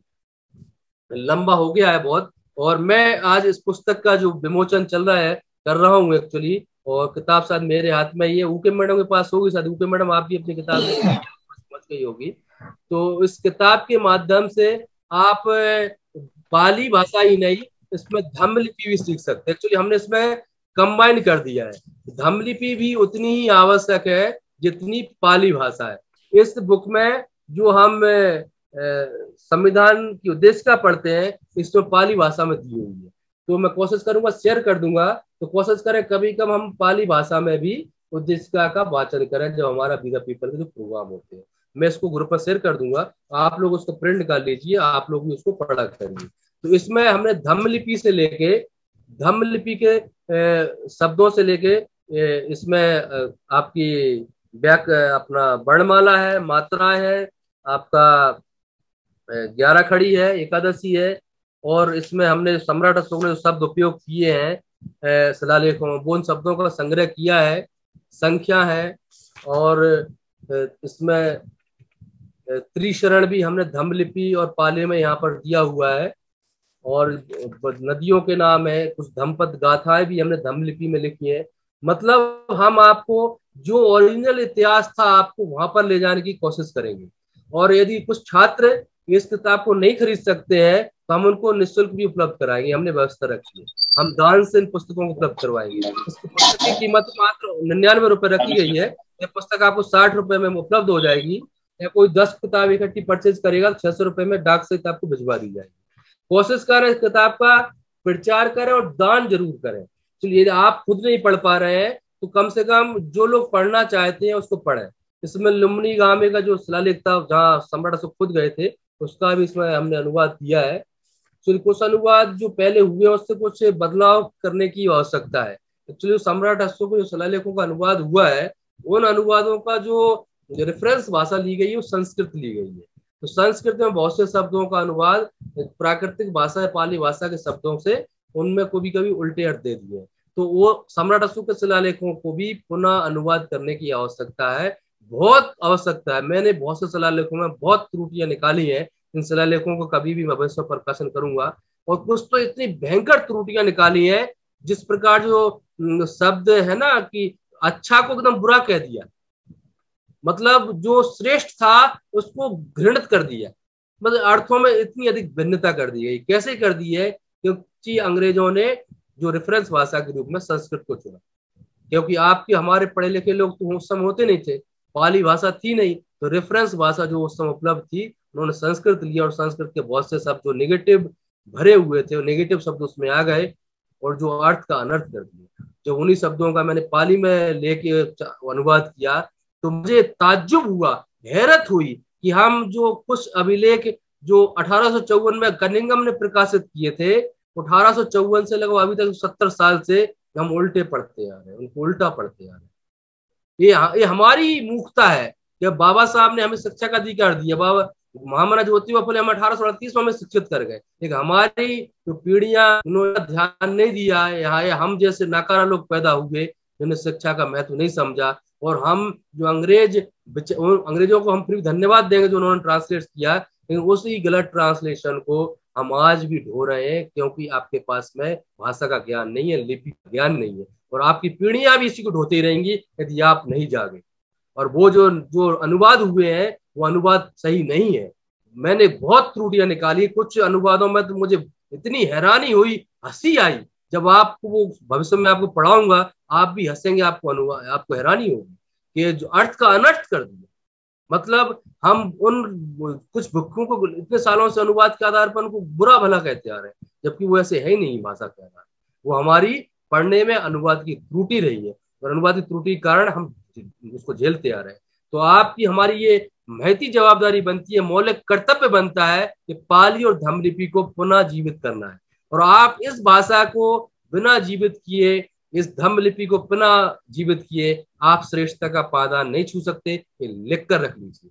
बिना अपनी भाषा के, बिना अपनी लिपि के, कितना भी लड़ाई लड़ लीजिए, आप नहीं कर सकते। अब सर आप अंग्रेज़ी के बल पर भी नहीं कर सकते, क्योंकि अंग्रेज़ी आपकी भाषा नहीं है। अंग्रेज़ी में अपना, वो अपनापन नहीं आ सकता, जो पाली में आ सकता है, जो पक्ति में आ सकता है, जो हमारे देसा शब्दों में आ सकता है, जो हमारे पंजाबी शब्दों में आ सकता है, जो हरियाणवी शब्दों में आ सकता है, जो देसा शब्द हमारे हमारे जहन में, हमारे पीढ़ियों में चलते आए, उनमें आ सकता है।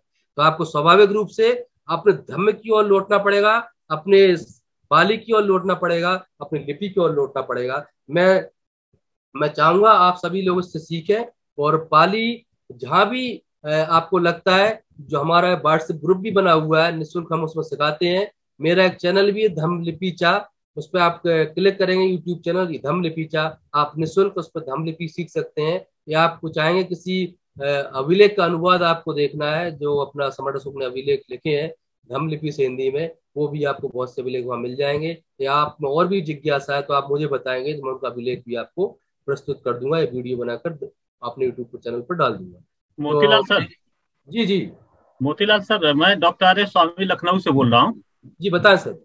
आ, सर ये जो डॉक्यूमेंट में इंग्लिश में लेट और हिंदी में स्वर्गीय लिखते हैं इसके बारे में क्या ख्याल है सर? ये उचित है कि लिखना चाहिए नहीं लिखना चाहिए? एक्चुअली स्वर्गीय नहीं लिखना चाहिए। हमारा हम तो पाली भाषा का शब्द उपयोग करें ना। हम भाई लेट भी लेट भी हमारी भाषा का शब्द नहीं है स्वर्ग भी हमारी भाषा का शब्द नहीं है। तो पाली में क्या लिखना चाहिए सर? भाई परिनिर्वाणित कर सकते हैं परिनिवृत्त कर सकते हैं। निर्वाण से जोड़ सकते हैं उसको। Okay sir. क्योंकि हम अपनी भाषा के अधिक हम कोशिश करेंगे अधिक से अधिक शब्द हम अपनी भाषा के क्योंकि आप अंग्रेज़ी भाषा के शब्द लेंगे तो भी जो अंग्रेज़ी के लोग हैं वो आप पे उतनी अच्छी दृष्टि से नहीं देखेंगे। कि आप उनकी संस्कृति को ले रहे हो तो आप उनके आगे घृण करने वाले हो गए याचक हो गए। जब आप अपनी शब्द संस्कृति शब्द उपयोग करेंगे तब आपको गर्व फील होगा प्राउड फील होगा। और हमारी पाली भाषा के शब्द अंग्रेज़ी में गए हैं भाई। अंग्रेज़ी के शब्द पाली में नहीं आए ये आप ध्यान रखिए। पाली के शब्द जी। सर इसको अपने डॉक्यूमेंट्स में हम चेंज करना चाहें तो कैसे करेंगे? अपने जो डॉक्यूमेंट उसकी अल, उसकी अलग प्रक्रिया है। हाँ निवृत्त कर दीजिए। उसकी अलग डॉक्यूमेंट में चेंज करने की बात कर रहे हैं सर डॉक्यूमेंट के लिए चेंज करने के लिए अलग में करेंगे गजट में। गजट नोटिफिकेशन होता है एसडीएम या अलग अलग राज्य में अलग अलग व्यवस्था से एमपी में एसडीएम की आवेदन देना पड़ता है गजट नोटिफिकेशन करना पड़ता है उसके बाद प्रक्रिया के आधार पर चेंज हो जाता है। छोटी प्रक्रिया ज़्यादा बड़ी प्रक्रिया नहीं है। कर सकते हैं लेकिन पूरा विधान दिया हुआ है। हमारी हमारे लिए हम यदि कहे ना तो हमसे ज़्यादा संवैधानिक रूप से नियम के रूप से हम ज़्यादा परिपक्व कोई यही नहीं है इस भारत देश में। लेकिन परेशानी ये है कि हम लोग ज्ञान नहीं है हमारे रूल्स के हमारे अधिकारों के प्रति हमें ज्ञान ही नहीं है। आपको आप किसी भी सेवा में या कोई जॉब करते हैं या कोई पेशा करते हैं यदि आपको अच्छे से अपने ज्ञान है अपने नियमों का अपने विधानों का ज्ञान है आपको कोई परेशानी नहीं कर सकता। बाबा साहब ने इतनी इतनी स्ट्रिक्ट इतनी अच्छी व्यवस्था करके गए, आपको सिर्फ़ उनको पढ़ना है। लेकिन हम पढ़ना भी भूल जाते हैं, हम पढ़ते नहीं है। जबकि बाबा साहब इतना अधिक पढ़ते थे उनसे ग्रहण करके हम अपने घरों में लाइब्रेरी बनाए, पुस्तकें दान करें। जो पुस्तक, ज़रूर नहीं यही पुस्तक खरीदे, जो पुस्तक बाज़ार में उपलब्ध है, जो अच्छी से अच्छी पुस्तक आपको लगती है उनका संग्रह करें और उनको बांटे। वितरण में आप, जो उपहार गिफ्ट देने की जो बात आती है, उसमें आप गिफ्ट दें। मेरी एक, इसके पहले एक पुस्तक और थी, सांची दानंग। इस पुस्तक इस पुस्तक में शायद आप कई लोगों ने पढ़ा होगा, इस पुस्तक की रिसर्च के दौरान मैंने सांची के जितने भी छोटे छोटे अभिलेख हैं, उनका, उन पर रिसर्च की। जो रिसर्च के दौरान पाया कि सांची जो वो विश्व विरासत सूची में शामिल है, उसकी वेदिका में उनतालीस ट्वेंटी नाइन शिला पट्टिकाएँ उल्टी लगी हुई है।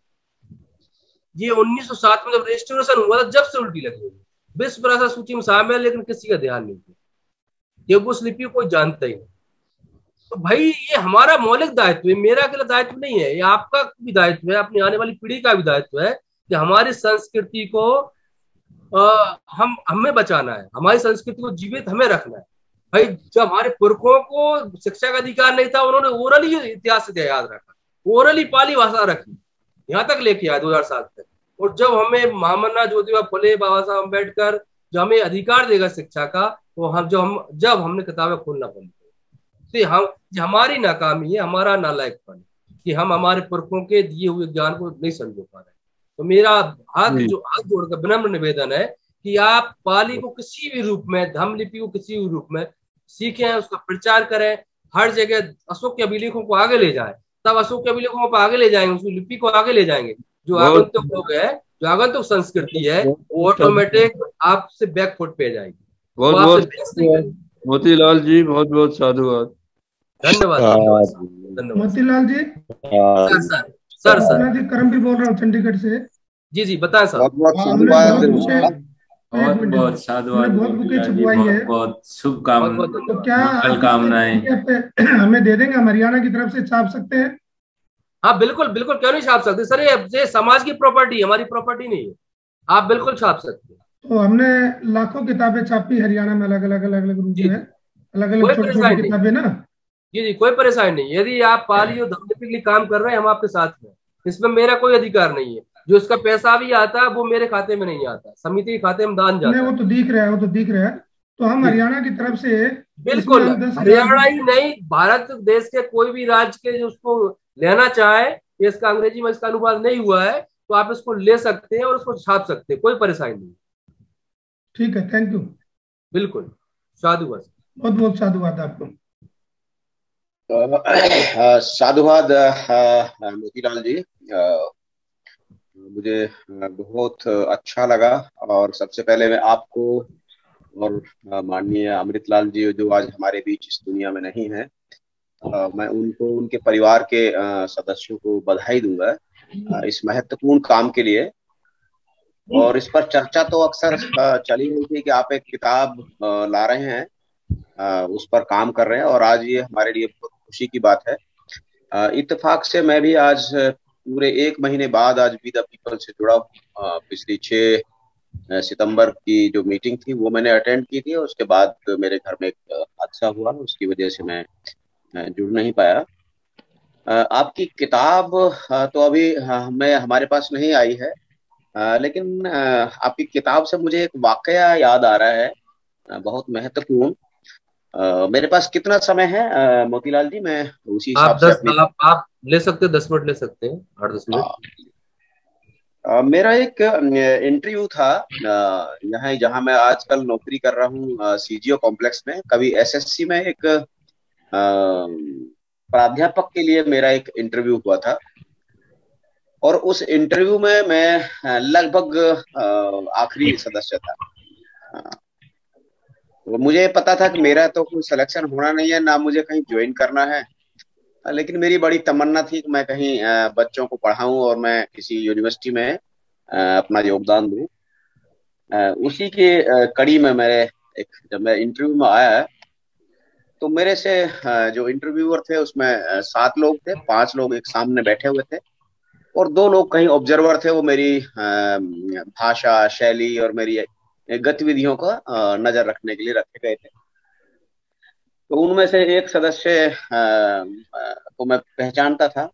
आज वो नहीं है, क्योंकि भाषा विज्ञान और धम्म लिपि की पुस्तक है। तो एक प्रोफेसर अशोक कालरा हुआ करते थे, भाषा थे बड़े अच्छे, जिस तरह से हमारे आजकल माननीय राजेंद्र जी हैं।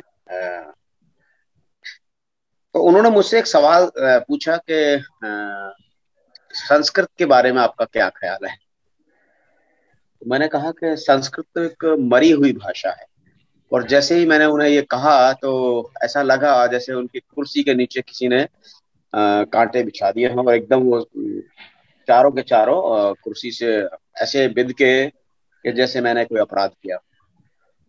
तो मुझसे कहते कि आप ये कैसे सिद्ध कर सकते हो क्या ये बात? मैंने कहा हाँ मैं बिल्कुल इस बात को सिद्ध कर सकता हूँ। और वो सिद्ध करते करते मेरे, मेरा जो इंटरव्यू था, जिनका किसी का दो मिनट, किसी का तीन मिनट, पाँच मिनट हुआ तो मेरा वो इंटरव्यू सत्ताईस मिनट हुआ और बाद में मेरा ही सिलेक्शन वो अलग बात है कि मैंने वो ज्वाइन नहीं किया तो मैं आपको ये वाक्य इसलिए शेयर कर रहा हूँ तो मेरे से जब उन्होंने पूछा कि आप ये सिद्ध कीजिए कि संस्कृत एक मरी हुई भाषा है। तो मैंने कहा कि संस्कृत मरी हुई इसलिए है कि वो कभी भी जन भाषा नहीं रही, वो कुछ लोगों की, कुछ विशिष्ट लोगों की भाषा थी और विशिष्ट लोगों की भाषा जो है वो कभी भी जनता की भाषा नहीं होती है। जो जनता की भाषा नहीं होती है, वो हमेशा मरी हुई होती इस बात पर वो बड़ी लंबी बहस चली और उस बहस को मैं आज आपके सामने इसलिए शेयर करने में, साझा करने में मुझे खुशी हो रही है कि हमारी बहन हेमलता जी ने जो अभी बात कही बड़ी मार्के की बात थी कि किसी एक बड़े विद्वान ने बात कही भी हाँ साधुवाद आपका साधुवाद बड़े मार्के की बात उन्होंने कही कि अगर किसी समाज की, संस्कृति की या किसी समाज को आपको गुलाम बनाना है तो सबसे पहले उसकी भाषा और संस्कृति को आप तोड़ मरोड़ दीजिए तो स्थितियाँ बहुत आसान हो जाए। बात बिल्कुल सही है। आज के संदर्भ में इसे हम अंग्रेज़ी के संदर्भ में देख सकते हैं। ठीक वैसे ही जैसे पूरे भारत में जो हिंदी की जो स्थिति है या अगर कार्यालयों की बात करें या सरकारी दफ्तरों की बात करें तो हिंदी वाले आज ठीक वैसे ज़िंदगी जीते हैं, जैसे एक ब्राह्मण और एक अछूत होता है, ऐसा महसूस करता हूँ। दूसरा एक महत्वपूर्ण बात यह है कि वी द पीपल से जुड़ने के बाद और भाई सुधीर राज्य जिसे लगातार संवाद होने के बाद, ऐसा महसूस हुआ कि हमारी जो भाषा थी, जो भाषा जिसे हम बोलते हैं, हम उसमें बहुत सारे ऐसे अक्षर हमारे बीच नहीं थे जो बाद में जोड़े गए। जैसे मैं अपनी बात को फिर दोबारा से संजीदा आपके साथ रखना चाहूँगा कि मैं, हम लोग कहते हैं कि जब आप कोई मकान बनाते हैं तो सबसे पहले ईट रोड़े आते हैं, बाद में मकान बनता है और मकान जो है, अगर वो लोग दावा करते हैं कि संस्कृत एक बहुत बड़ा मकाम है, बहुत बड़ा मकान है तो ज़ाहिर सी बात है कि संस्कृत से पहले जो भाषाएँ थी, जैसे पाली है, प्राकृत है या अपभ्रंश है, वो ज़ाहिर सी बात है, वो पहले थी और हम उन्हें उन भाषाओं को आज की जो भाषा है, उनकी एक माँ के रूप में कह सकते हैं, ये बहुत शिद्दत की बात है। दूसरी महत्वपूर्ण बात यह है कि पाली हमारे धम्म की भाषा जो पूरा बौद्ध धम्म है, जो पूरा बौद्ध धर्म से भी पहले की जो मोहन मोहनजोदड़ो और हड़प्पा की जो हम चर्चाएँ करते हैं तो उन लोगों की भाषाएँ थी, उन लोगों की भाषा थी। उसमें बहुत सारे ऐसे अक्षर आज नहीं है हमारे बीच, जो बाद में जोड़े गए। तो इससे ये बात भी सिद्ध होती है बार बार कि जो चीज़ बाद में जोड़ी गई तो ज़ाहिर सी बात है वो पुरानी कैसे हो सकती है? पाली अपने आप में पुरानी भाषा है और बहुत ही समृद्ध भाषा है। और एक शब्द, एक जो अक्षर है आप देखिए पाली का जन्म जो है बिहार अंचल में होता है। लेकिन उसका एक अक्षर अर्ण जो निर्णय शब्द अणय उसको जो उसका आयाम मिलता है, वो पंजाब में जाकर मिलता है। देखिए, पंजाब में बिना अणय के आप कल्पना नहीं कर सकते हैं। जैसे वो पानी नहीं बोलते, वो पानी बोलते हैं। खाना नहीं बोलते, खाना बोलते हैं। इसी तरह से वो हरियाणा में भी आप देख सकते हैं। दूसरा एक शब्द जो अड़ा है जिसे हम आमतौर पर खाड़ बोलते हैं जैसे हम खाल यानी कि जो नाला टाइप होता था, उसे हम गाँव देहात में खाड़ बोलते थे। आज भी बोलते हैं हमारे यहाँ हिंदी में गाँव देहात में। वो जो अड़य शब्द है, जो अड़य अक्षर है वो मराठी का बहुत ही जीवंत अक्षर है। और इन लोगों ने क्या साजिश की कि पहले हिंदी के जो टाइपराइटर हुआ करते थे या जो कीबोर्ड्स हुआ करते थे उस कीबोर्ड्स में अड़य शब्द बहुत शिद्दत से आ, आता था। इवन के कंप्यूटर में था। लेकिन आजकल वो बिल्कुल शब्द वो अक्षर ही उन्होंने गायब कर दिया है। ये भाषा के स्तर पर समाज के स्तर पर संस्कृति के स्तर पर एक बड़ी बड़ा भारी घालमेल है। और हमें इस बात की बेहद खुशी है। और हमें बहुत अच्छा ये लगा कि मोतीलाल जी और हमारे जो दूसरे साथी अमृत लाल जी जो हमारे बीच शायद नहीं रहे। उन्होंने, उनके प्रयास से ये एक महत्वपूर्ण रचना हमारे बीच आई और मुझे इस बात की पूरी उम्मीद है कि ये जन जन के बीच एक नया आयाम तय करेगी। साथ ही मैं अपने वी द पीपल के सभी साथियों से एक अनुरोध करूँगा कि हम लोग पाली भाषा, अध्ययन और संस्कृति पर एक अकादमी बनाए। और उस अकादमी को कम से कम दिल्ली उसका एक केंद्र बने ऐसा हम लोग कोशिश करें। और उसके लिए जो भी संसाधन जुटाने होंगे, उसमें हम लोग साथ रहेंगे। हमसे जो भी सहयोग होगा, हम लोग उसका साथ होंगे। एक बार फिर मैं आपको बधाई दूँगा। आपको अमृतलाल जी के परिवार के लोगों को बधाई दूँगा। और मोती लाल जी आपको बधाई दूँगा। और सभी वी द पीपल के सभी साथियों को बधाई दूँगा। मैं, जैसे कि मैंने बताया कि मैं एक महीने बाद आया हूँ तो कुछ हमारे बीच बहुत नए साथी मैं आज देख रहा हूँ नए साथियों के नाम है। बड़ा अच्छा लग रहा है कुछ पुराने साथी इसमें आज मैं देख रहा हूँ नहीं है। ये चर्चा बाद में जारी रहेगी इस पर हम बाद में विचार करेंगे। आपका सबका साधुवाद और मोतीलाल जी आपने मुझे आमंत्रित किया समय दिया मैं आपका आभारी हूँ। सभी का साधुवाद। जय भीम नमो बुद्धाय। बहुत बहुत साधुवाद। साधु। सर मोतीलाल सर जी जी सर। सर मैं एक क्यूरी पूछ सकता हूँ? बिल्कुल बिल्कुल सर बिल्कुल पूछ सकते सर मेरा सुरेश सुदेश तनवर सर से एक पूछना था। सर आपने बहुत अच्छी बात कही कि ड़ शब्द जो है मराठी में है डायरेक्ट पाली से मराठी में आता है और ड़ शब्द को जानबूझकर साजिश बनाकर वो इससे हटा दिया गया है अल्फ़ाबेट से। तो ये जो ड़ शब्द और किस किस भाषा में आता है सर?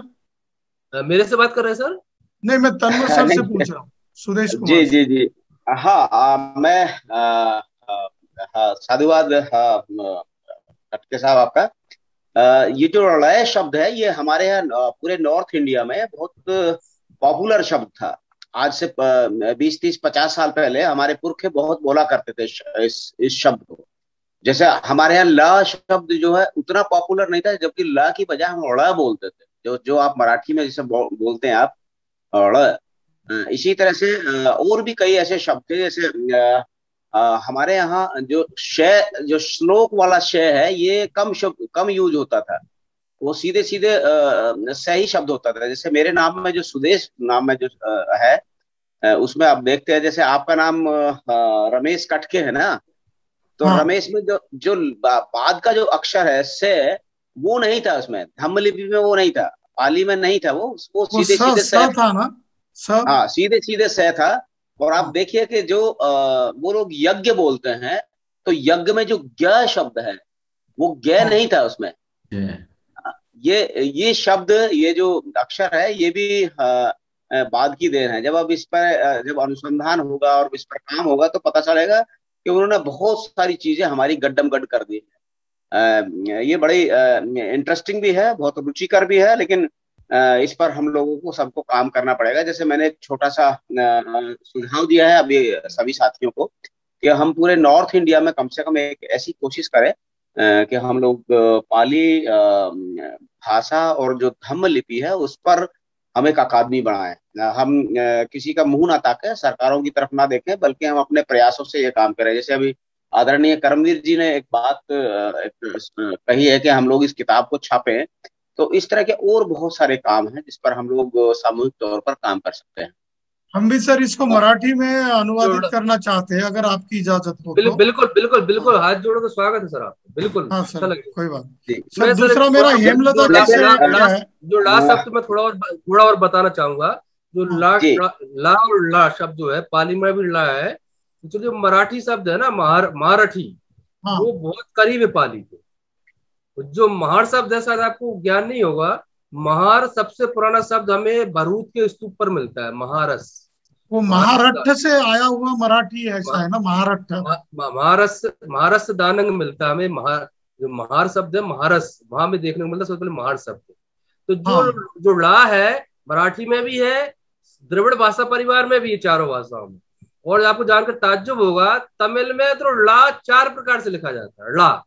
वो ला चलो रा मैं प्रोनाउंस भी नहीं कर पा रहा हूँ यहाँ पे चलो मुझे उसका ज्ञान नहीं तमिल के चारों का। सर मैंने तो ये भी पढ़ा है कि महाराष्ट्र की जो दो जातियाँ है एक मराठा है दूसरी महार है। तो इसका उदम उद, जो ये है उदय वो एक ही से मराठा और महार एक ही थे पहले बाद में साजिश के तहत उनको अलग किया गया है। मराठा शब्द तो बहुत बात का है महार बहुत पुराना शब्द हाँ सर। महार महार से ही महार महा- महारठी अर्थात अर्थात मराठी शब्द मराठी भाषा का शब्द नामकरण हुआ। महा- महार से ही महाराष्ट्र शब्द का उद्भव हुआ। हाँ बराबर। जॉन विल्सन ने भी कहा है महार से महाराष्ट्र बनाए जी जी। तो हाँ, मराठा शब्द बात का बात का भ्रंशित शब्द है मूल शब्द महार है। जी हाँ हाँ, मोतीलाल जी एक सुझाव और दूँगा मैं। जी जी। जब आप उत्तराखंड जाते हैं तो एक चीज़ देखते हैं वहाँ पे पूरा उत्तराखंड दो हिस्सों में बटा हुआ है। जी एक है जहाँ ताल बहुत है ताल मतलब तालाब बहुत है। जी जी। और एक है जहाँ पे नदी जहाँ पे नाले बहुत है। तो जो नाले जो शब्द था वो नाले नहीं थे वो नाले था वो। जैसे हाँ, मैंने अभी आपने जो जो आपने पाली में कहा और मराठी में और हमारे यहाँ अक्षर ये शब्द अक्षर बोला जाता था तो वहाँ में गुम खाड़ खाल वो गुम खाल नहीं है वो खाड़ है वो। इसी तरह से जो ताल था वो भी ताड़ है वहाँ। जब आप उसका अध्ययन करेंगे या उस तरफ़ जाएँगे कभी अ, ताड़, ताड़, बिल्कुल उत्तराखंड में तो आपको बहुत सारी चीज़ों की जानकारी मिलेगी। ये बड़ी आपने बहुत ही रोचक जानकारी दी है और इतने विस्तार से हम लोगों ने इस पर चर्चा की। मैं मेरा एक निवेदन ये भी है कि हमारे जो एक एक अन्य भाषाविद हैं राजेंद्र प्रसाद सिंह जी। अगर किसी तरह से उनसे भी संपर्क हो सके तो हम लोग मिलकर कुछ काम और बड़ा काम कर सकते हैं। इस पर हम काम करेंगे सब मिलकर। ये बहुत पाली के बारे में सुधीर राज सिंह सर तो काफ़ी बार बहुत ही बार बताते हैं। क्या हम लोग अगर इकट्ठा मिलके पाली के बारे में जैसे बाबा साहब ने इतना सारा समय निकाल कर पाली के ऊपर बहुत ध्यान दिया और हम अगर इसको बढ़ावा देते हैं तो हमारा कल्चर स्टेब्लिश हो सकता है। जैसा कि हेमलता बहन जी ने कहा है कि वो तो पहले आपकी लैंग्वेज को ही अटैक कर देते हैं और वो आपके ऊपर गुलामी थोप देते हैं। तो ये पाली का जो किसी अफ्रीकन के बारे में बताया हेमलता बहन ने तो जी, उसका जी, वो जी। किताब का रेफरेंस मिलेगा हमें? वो अफ्रीकन राइटर जो है जो उसने बताया है।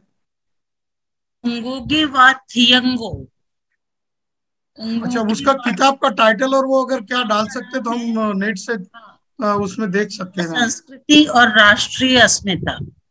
Okay okay okay. Thank you thank you जय भीम नमो हाँ, सर। हाँ परिवार जी। जी साहब जी। जय भीम नमो बुद्धाय। जय भीम नमो बुद्धाय जय भीम।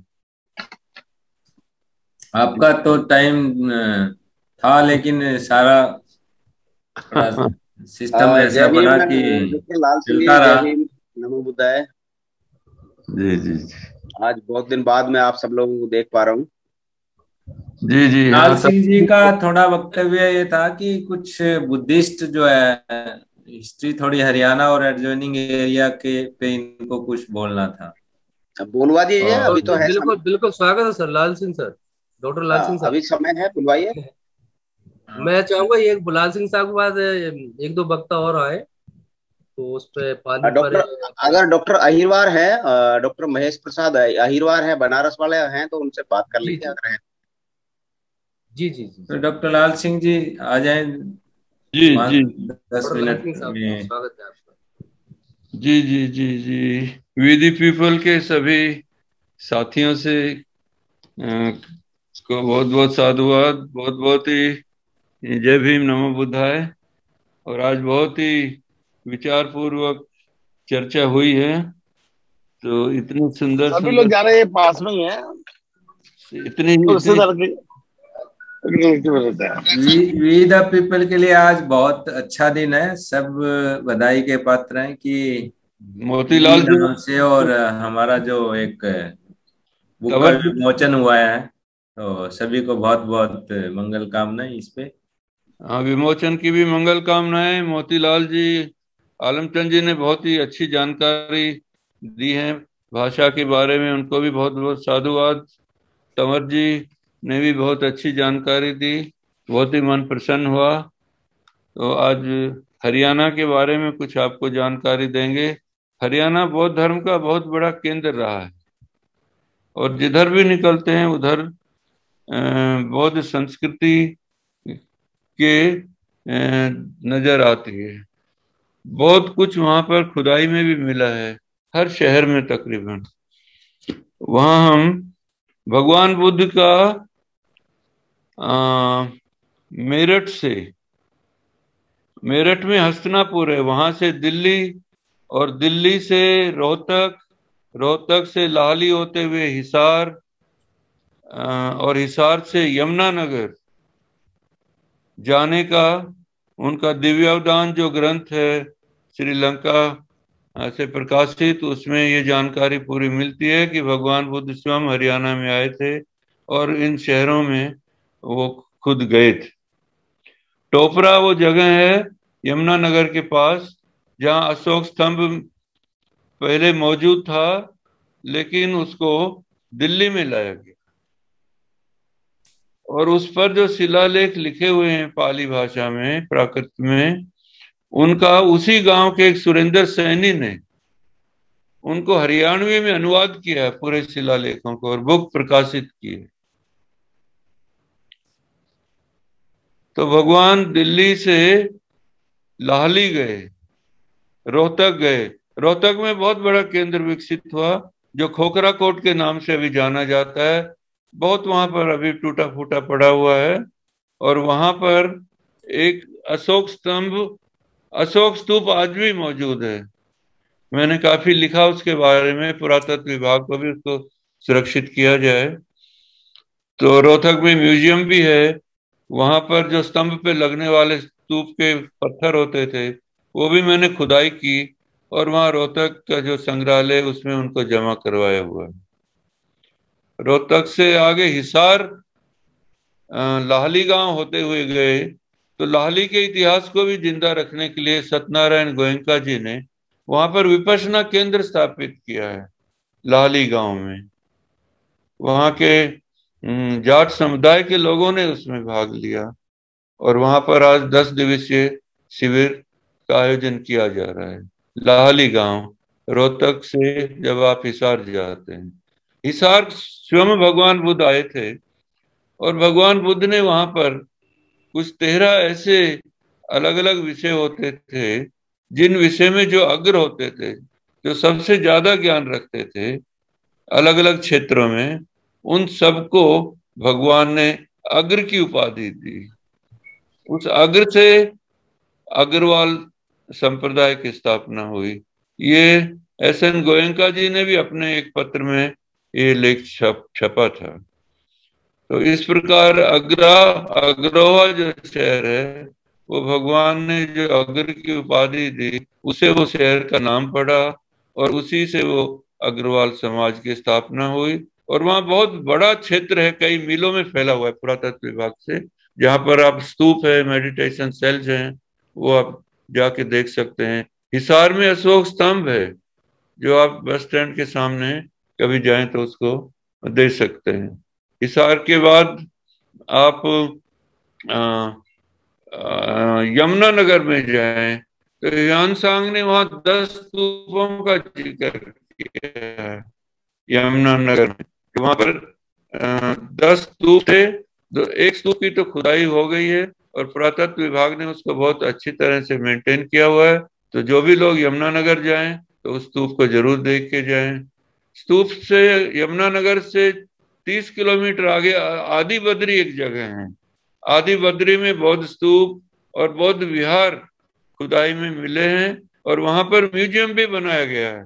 जो चीज़ें भी बौद्ध साहित्य की वहाँ पर उपलब्ध हुई थी, वो यमुनानगर के उस आदि बद्री स्थान में उनको सुरक्षित रखा गया है। आपको आदि बद्री से, आप दिल्ली से एक बस जाती है सीधी। जो लोग देखना चाहना चाहें, वो सीधा बस से देख के रात तक वापस भी आ सकते हैं। तो उसके अलावा जो विपसना केंद्र स्थापित हुए हरियाणा में चार, वो भी वो स्थान है जहाँ पर भगवान बुद्ध आए थे। जैसे सोनीपत का केंद्र है, उस पर जो विपसना केंद्र बना है, उसका नाम धम्म पठान रखा गया है। जो रोहतक में धम्म केंद्र बना है, उसका नाम धम्म हितकारी रखा गया है। जो सोहना में विपसना केंद्र बना है, उसका नाम धम्म सोत रखा गया है। और जो हस्तनापुर में बौद्ध केंद्र बना है, उसका नाम धम्म सुधा रखा गया है। तो आप देखेंगे जितने विपसना केंद्र गोयंका जी ने बनाए हैं, उन सबका नाम वो धम्म से आरंभ कर रहे हैं। ये भी एक महत्वपूर्ण बात है, धम्म के प्रचार प्रसार के लिए और धर्म को महत्व देने के लिए। तो जो दिव्यदान ग्रंथ है श्रीलंका का, उसमें ये सारी जानकारी ऐतिहासिक रूप से मिलती है। जो यमुनानगर के पास में एक गाँव टोपरा है, टोपरा में जहाँ पर तेरहवीं शताब्दी में खुदाई में जो स्तूप, स्तंभ मिला था तो उस स्तंभ को दिल्ली में लाके लगाया गया। लेकिन वहाँ की एक सरपंच ने कुछ साल पहले, रामकली सरपंच, एक जाटनी, उसने इतना प्रयास किया कि जो दिल्ली टोपरा स्तूप स्तंभ लाया गया, उसको वापस हमारे गाँव में दिया गया, वापस दिया जाए। और उसने वहाँ धरना भी दिया। कई साल उसके लगातार प्रयासों ने सरकार को मजबूर होना पड़ा कि 50 करोड़ रुपए कि हम स्तंभ तो वापस नहीं दे सकते, लेकिन 50 करोड़ रुपए पुरातत्व विभाग ने सैंक्शन किए कि ऐसा स्तूप हम दूसरा बना सकते हैं। लेकिन वो पैसा उस काम के लिए नहीं बना। वहाँ पर एक अशोक, धर्मशाला भी बहुत बड़ी सम्राट अशोक के नाम से बन चुकी है। और वहाँ पर एक बहुत बड़ा धम्म चक्र लगाया गया है, जो इंडिया में आज सबसे बड़ा धम्म चक्र है। वो टोपरा जगह में आप जाएँ तो नया बिल्कुल नया बहुत बड़ा स्तंभ बना गया है धातु का बना है। तो इस तरह से हमारे हरियाणा में दोबारा से बौद्ध धर्म दोबारा से जाग रहा है और उस रामकली सरपंच को भी हम धन्यवाद करते हैं। इतना प्रयास करके जो साथी बौद्ध साहित्य को समझना या पढ़ना चाहते हैं। वो ताइवान एक ऐसा देश है जिसने बौद्ध साहित्य को विश्व की सभी भाषा में अनुवाद किया है और वो मुफ़्त में फ्री आप उनको लिखें तो वो साहित्य आपको भेज सकते हैं। ताइवान में मैं चीन गया तो चीन के हर बौद्ध विहारों में ताइवान का फ्री दिया हुआ साहित्य बौद्ध विहारों में भरा पड़ा है। आप जिस देश में भी जाएँगे, ताइवान का छपा हुआ उनकी भाषा में, आप भी जिसको चाहिए, आप ताइवान को लिखें। मैं आपको इसमें चैट में उनका एड्रेस भेजूँगा तो वो आपको फ्री साहित्य भेजेंगे। जो भी आपको चाहिए तो इस प्रकार हरियाणा के काफ़ी जो जितने भी शहर हैं, उनमें बौद्ध धर्म जाग रहा है, विपसना से भी जागा है, और इन विपसना केंद्रों में पूरी जैसे एक बौद्ध विहार होता है उसकी तरह से सारी प्रज्ञा की, सील की और समाधि के ज्ञान की एक भिक्षु की ट्रेनिंग दी जाती है। तो इस प्रकार धम्म में हरियाणा काफ़ी अग्रणी है और काफ़ी काम इसमें हो रहा है। समय अभी कम है, इसलिए मैंने बहुत मोटी मोटी बातें ही बताई है। फिर कभी समय मिलेगा तो एक एक केंद्र की बहुत डिटेल जानकारी आपको देंगे। आपने समय दिया, सुना। आप सबका मैं बहुत बहुत साधुवाद करते हुए अपनी वाणी को विराम देता हूँ। जय भीम नमो बुद्धाय। थैंक यू डॉक्टर साहब। डॉक्टर साहब की एक बुक भी है ये बुद्ध भूमि हरियाणा। इसमें हरियाणा के लगभग बुद्धिस्ट साइट्स हैं।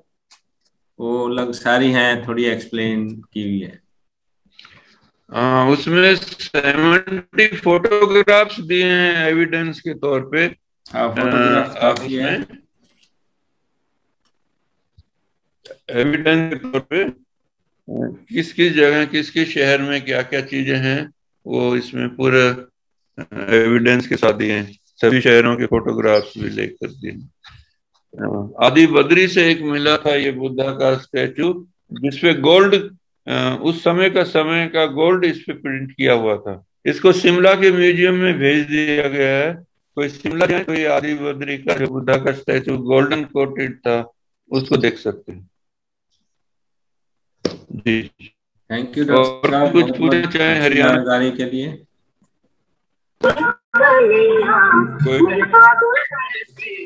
हरियाणा के बारे में। और एक एक जानकारी और देता हूँ जितने बड़े बड़े प्राचीन स्तूप बहुत हरियाणा में मिले वो कुषाण राजाओं के समय के हैं ज़्यादातर।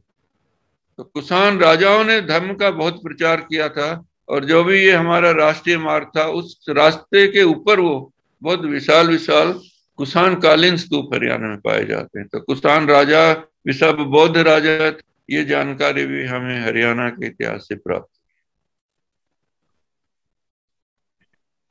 ठीक है, और कोई क्वेश्चन किसी को? कोई पूछना चाहे? एक किसी का क्वेश्चन आ रहा है कि भगवान पाली शब्द है क्या? चैट में आया हुआ पाली शब्द है भगवान का माने होता है जिस मनुष्य जिस मनुष्य ने तप करके और तीन चीज़ों से जिसने राग द्वेष और मोह जिसमें भग्न हो गया है उस भग्न से भगवान कहलाता है।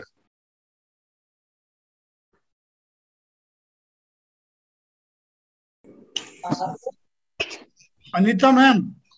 हाँ यस सर शुरू कर दो। यस सर सभी सम्मानित सदस्य को मेरा सप्रेम जय भीम और नमो बुद्धाय नमो बुद्धाय जय भीम आज का ये जो विद पीपल की ओर से जो प्रोग्राम है सॉरी प्रोग्राम नहीं कहते ये इस आ, ये जो उपक्रम है जिससे हम जुड़े हैं ये मुझे बेहद खुशी है। आ, कि हम सब लोग हमारा इतना महत्वपूर्ण जो कार्य है समाज के प्रति हम यहाँ पे कर रहे हैं। आ, तो सबसे पहले मैं कार्यक्रम की शुरुआत करने से पहले आज के संविधान के प्रास्ताविका जो वाचन है आ, वो मैं सम्मानीय सोनी जी आ, इनको मैं अनुरोध करूँगी कि वो संविधान की प्रास्ताविका का वाचन करें।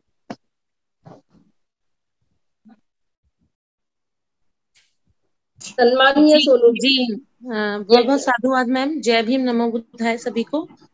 और मैं कोशिश करूँगी कि मैं आज फ़र्स्ट टाइम पढ़ रही हूँ ऑन प्रोग्राम में तो मैं ठीक से कर पाऊँ जिम्मेवारी को पूरा।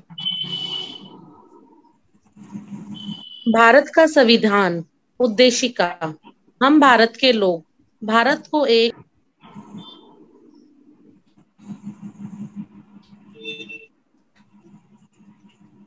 प्रभुत्व समाज, संपन्न, समाजवादी, पंथ निरपेक्ष, लोकतांत्रिक गणराज बनाने के लिए तथा उसके समस्त नागरिकों को सामाजिक, आर्थिक और राजनीतिक न्याय, विचार, अभिव्यक्ति, विश्वास, धर्म और उपासना की स्वतंत्रता, प्रतिष्ठा और अवसर की समता प्राप्त करने के लिए तथा उन सब व्यक्तियों की गरिमा और राष्ट्र की एकता और अखंडता सुनिश्चित करने वाली, बंधुता पढ़ने के लिए, बढ़ाने के लिए दृढ़ संकल्प संकल्प होकर अपनी इस संविधान सभा में आज तारीख 26 नवंबर उन्नीस ईस्वी, मती मार्गशीर शुल्क सतमी संवत 2006 विक्रमी को एकात द्वार इस संविधान को अंगीकृत, अधिनियमित और आत्मप्रत करते हैं।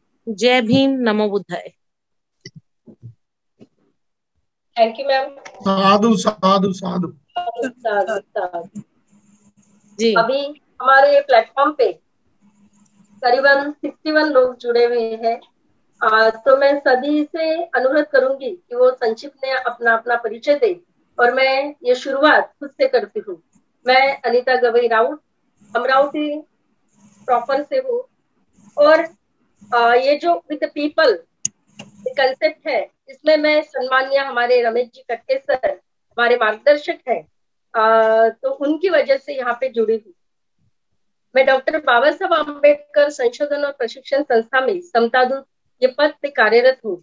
और ये पद पे कार्यरत होने की वजह से मुझे समाज में क्या चल रहा है जो छोटे छोटे छोटे गलियों में आ, या फिर स्लम एरियाज़ में जो लोग रहते हैं उनकी समस्याएँ क्या है? ये मैं आ, मतलब करीब से मैंने देखी हुई है। तो मुझे ऐसे लगता है कि हमारा अगर आ, हमें उन्नति करनी है हमारी प्रगति अगर हमें करनी है तो संविधान के सिवाय हमें कोई चारा नहीं है। और इसलिए ऐसा कहते हैं कि गीता बाइबल हो या कुरान सबसे आगे संविधान। क्योंकि संविधान ही ऐसा है कि हमें हमारे जीने का हक हमारे जो अधिकार है वो केवल और केवल हमें संविधान की वजह से प्राप्त हुए हैं।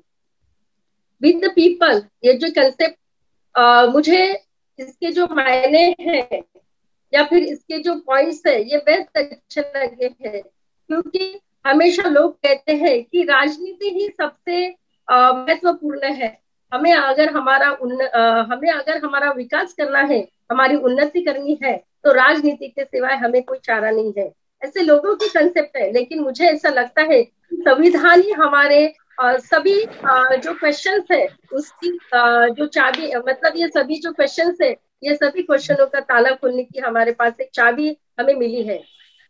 क्योंकि हम राजनीति की बात अगर करते हैं तो राजनीति में मतलब जो घरानेशाही होती है कि अगर उसके पिता राजनीति में है तो फिर उसका बेटा होगा। लेकिन संविधान ने हमारे हमें एक ऐसी चाबी सौंपी है कि हमारे हाथ में हमें एक वोटिंग का बटन दिया है। बस अगर हम सच्चे दिल से चाहते हैं, अगर हमें हमारा विकास करना है तो हमारे हाथ में संविधान ने बहुत अच्छे से बटन दिया है कि जो हमें चाहिए, जो हमें उम्मीदवार जीत के लाना है तो उससे हम जीत के ला सकते हैं।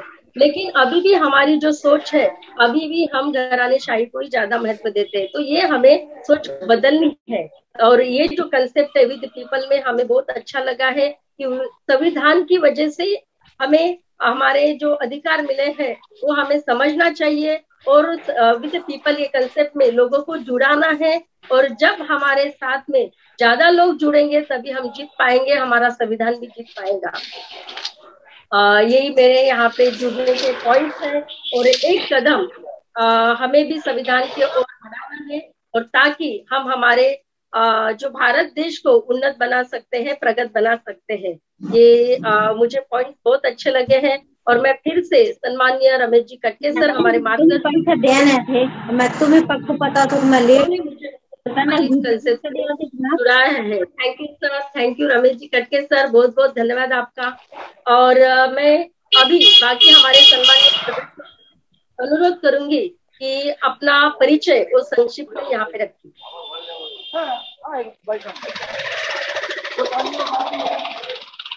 कांचन ताई कंचन वीरता ये अनिता जी। जी जी जी।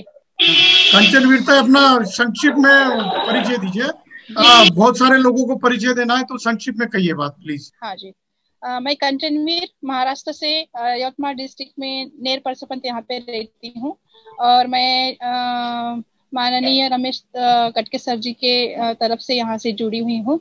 और मैं अनाथ बच्चों के लिए विधवा परित्यक्ता महिलाओं के लिए काम करती हूँ। अभी बुद्ध धम्म के लिए भी काम आ, करना शुरू कर दिया है जो कि ज़रूरी है।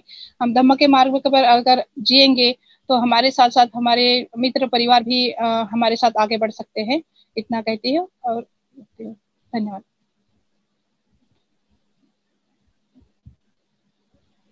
जो आज यहाँ पे नए लोग जुड़े हैं वो प्लीज़ अपना संक्षिप्त में परिचय यहाँ पे दें।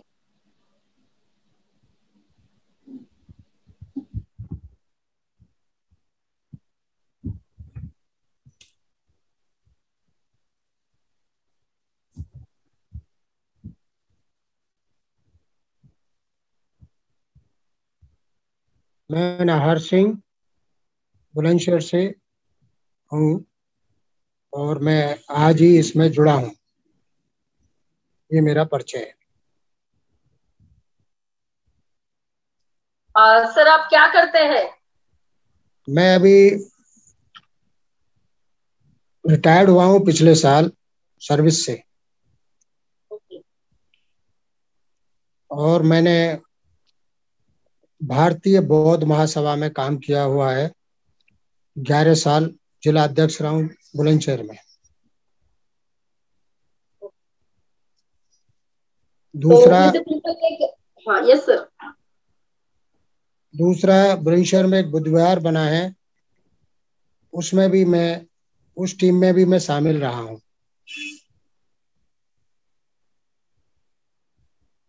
ये मेरा परिचय। ओके सर और विद पीपल कंसेप्ट में आपको और लोगों को जुड़ाना है ताकि आ, हम संविधान के बारे में जा सके और संविधान को आगे आ, मतलब हमारा जो उद्देश्य है कि संविधान सबको समझना चाहिए संविधान की जय जयकार होनी चाहिए तो ये हमें करना है। तो और आगे भी आपको लोगों को जुड़ाना है। नमो बुद्धाय सर जय नमो बुद्धाय और मैं बाकी लोगों को भी अनुरोध करूँगी कि वो भी अपना परिचय संक्षिप्त में यहाँ पे रखें। सभी साथियों को जय भीम नमो बुधाय मैं डॉक्टर आर्य स्वामी लखनऊ से। आ, मैं गवर्नमेंट सेवा में हूँ और मैंने M B B S M D ए जो है मोतीलाल नेहरू मेडिकल कॉलेज इलाहाबाद से किया था। वर्तमान में मैं इलाहाबाद स्टेबल हूँ। वी द पीपल में मैं जुड़ा हुआ हूँ और मुझे काफ़ी अच्छा लग रहा है। वी द पीपल का कॉन्सेप्ट भी बहुत सुंदर है। मैं अपना एक विचार संक्षिप्त में रखना चाह रहा हूँ कि आज हमें बहुत खुशी होती है कि जब हम एक मंच पे इतने बुद्धिजीवी हमारे बहुजन समाज के, समर समाज के बुद्धिजीवी साथी जुड़ते हैं, अपने विचारों को रखते हैं तो हमें ऐसा प्रतीत होता है कि कोई भी साथी ऐसा नहीं है जिसको हमारे बहुजन समाज की दुर्दशा के बारे में ज्ञान नहीं है, हमारे महापुरुषों के इतिहास के बारे में ज्ञान नहीं है, लेकिन कहीं ना कहीं हम आपस में उलझ जाते हैं। हमें अपने महापुरुषों के प्रति अगर सच्ची आदरांजलि देना है दिखाना है तो हमें अपने महापुरुषों के विचारों को अपने व्यवहार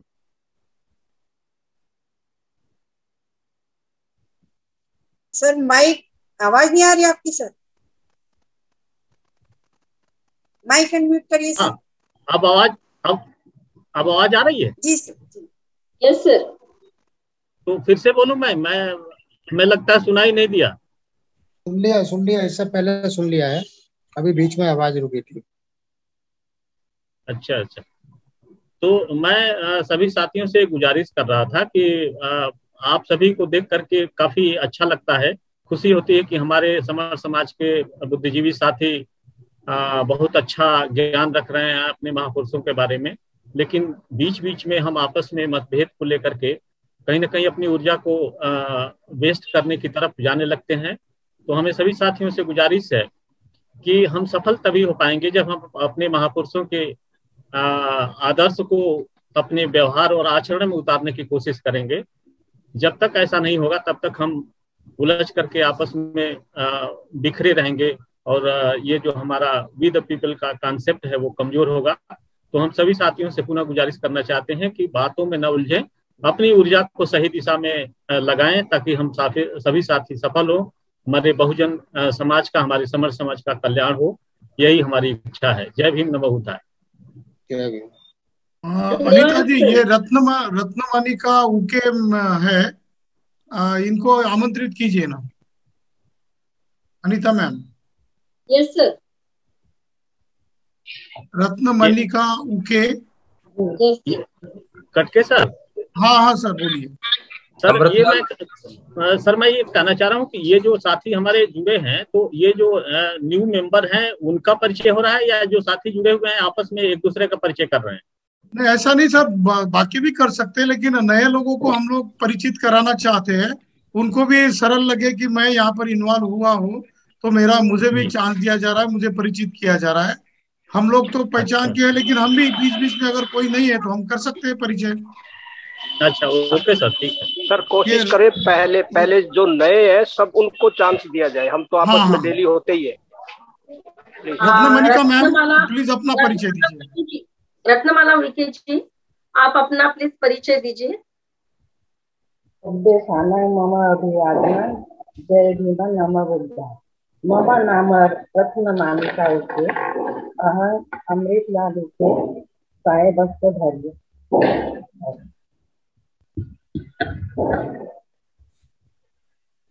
सभी साथियों से ये गुजारिश है कि जो भी हमारे नए साथी आज द पीपल संघ मंच से जुड़े हुए हैं वो कृपया अपना हैंड रेज कर दें ताकि हम लोग उनको बारी बारी से आसानी से बुला के एक दूसरे का परिचय करा सकें।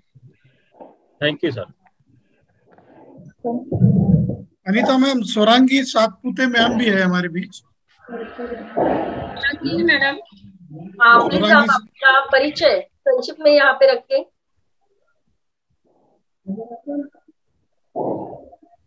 हेलो हाँ यस मैम हाँ हाँ आवाज़ आ रहा है?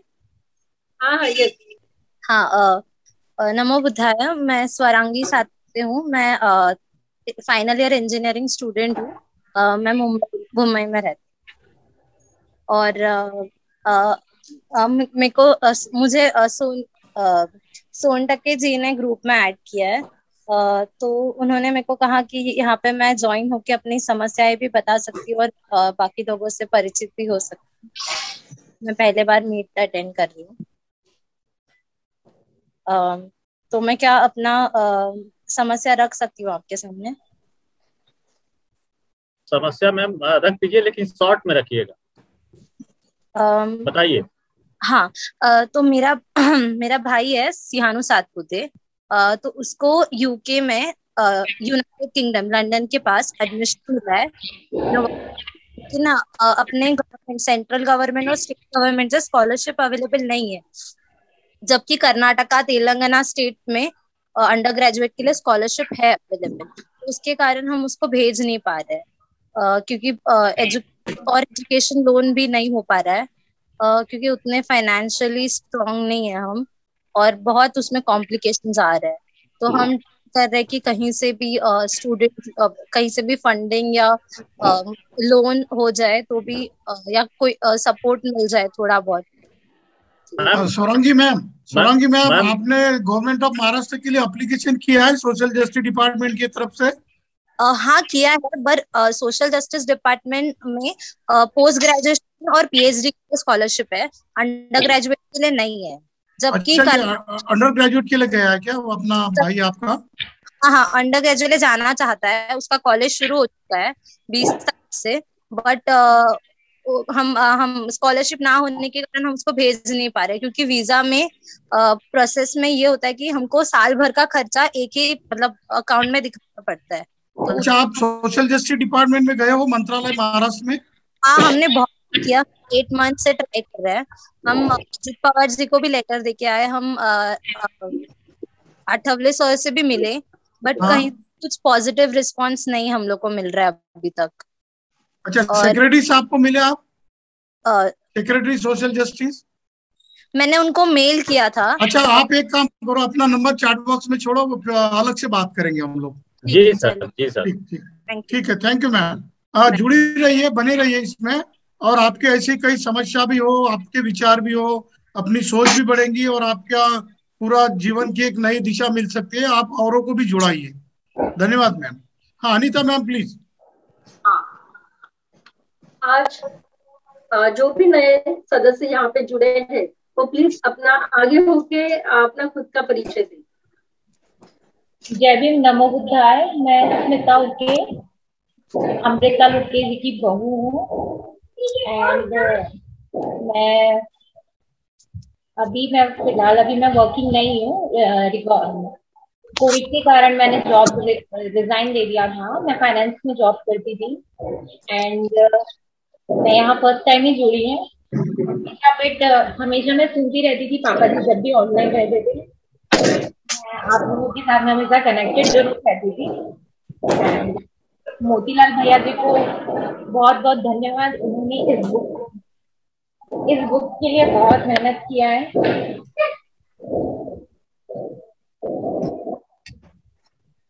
और आप सभी का भी बहुत सहयोग मिला है इस चीज़ में। इसी तरह पापा जी का नाम आगे बढ़ता चला जाएगा। आप सभी का साधु जय जय भीम नमो बुद्धाय और आगे हमारे जो यहाँ पे सदस्य नए जुड़े हुए जुड़े हुए हैं वो प्लीज़ अपना परिचय खुद होके दीजिए। अभय कुमार जी है अनिता मैम। अभय कुमार जी। अभय कुमार जी प्लीज़ अपना परिचय दीजिए। जय भीम नमो बुद्धाय सर। जय भीम नमो बुद्ध हाँ मेरा नाम अभय कुमार रामटेके है। मैं नागपुर से हूँ, मैडम। और मैं प्राइवेट सिविल इंजीनियर हूँ। नगर परिषद सिंधी रेलवे में प्राइवेट जॉब करता हूँ, प्रधानमंत्री आवास योजना अंतर्गत। कभी कभी मैं जुड़ते रहता हूँ। सोनटक के सर ने लिंक भेजे थे। तो बस तो कभी कभी मैं अटेंड करता हूँ मैडम मीटिंग। बहुत अच्छा लगता है। ठीक है मैडम। तो जो भी नए सदस्य जी madam. Thank you sir okay madam जो नए सदस्य है उनसे मैं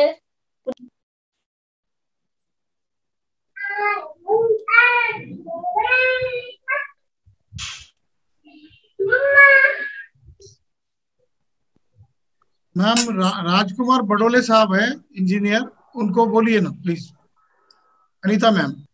Yes sir Rajkumar Badole sir please अपना परिचय दीजिए। महाराष्ट्र के लोगों को आपका परिचय है लेकिन आप अपना परिचय ये जो प्लेटफॉर्म है यहाँ पे प्लीज़ दीजिए। Anita madam? Badole sir yes जो भी महिलाएँ अपना इंट्रोडक्शन दे रही है ना उनसे बोलिए कि वो अपना नंबर चैट बॉक्स में डाल दें। यस जो भी महिलाएँ ये कंसेप्ट यहाँ पे अपना परिचय दे रहे हैं प्लीज़ अपना जो मोबाइल नंबर और नाम चैट बॉक्स में कृपया करके डाल दीजिए। राजकुमार बडोली जी प्लीज़ आपका परिचय आप दीजिए।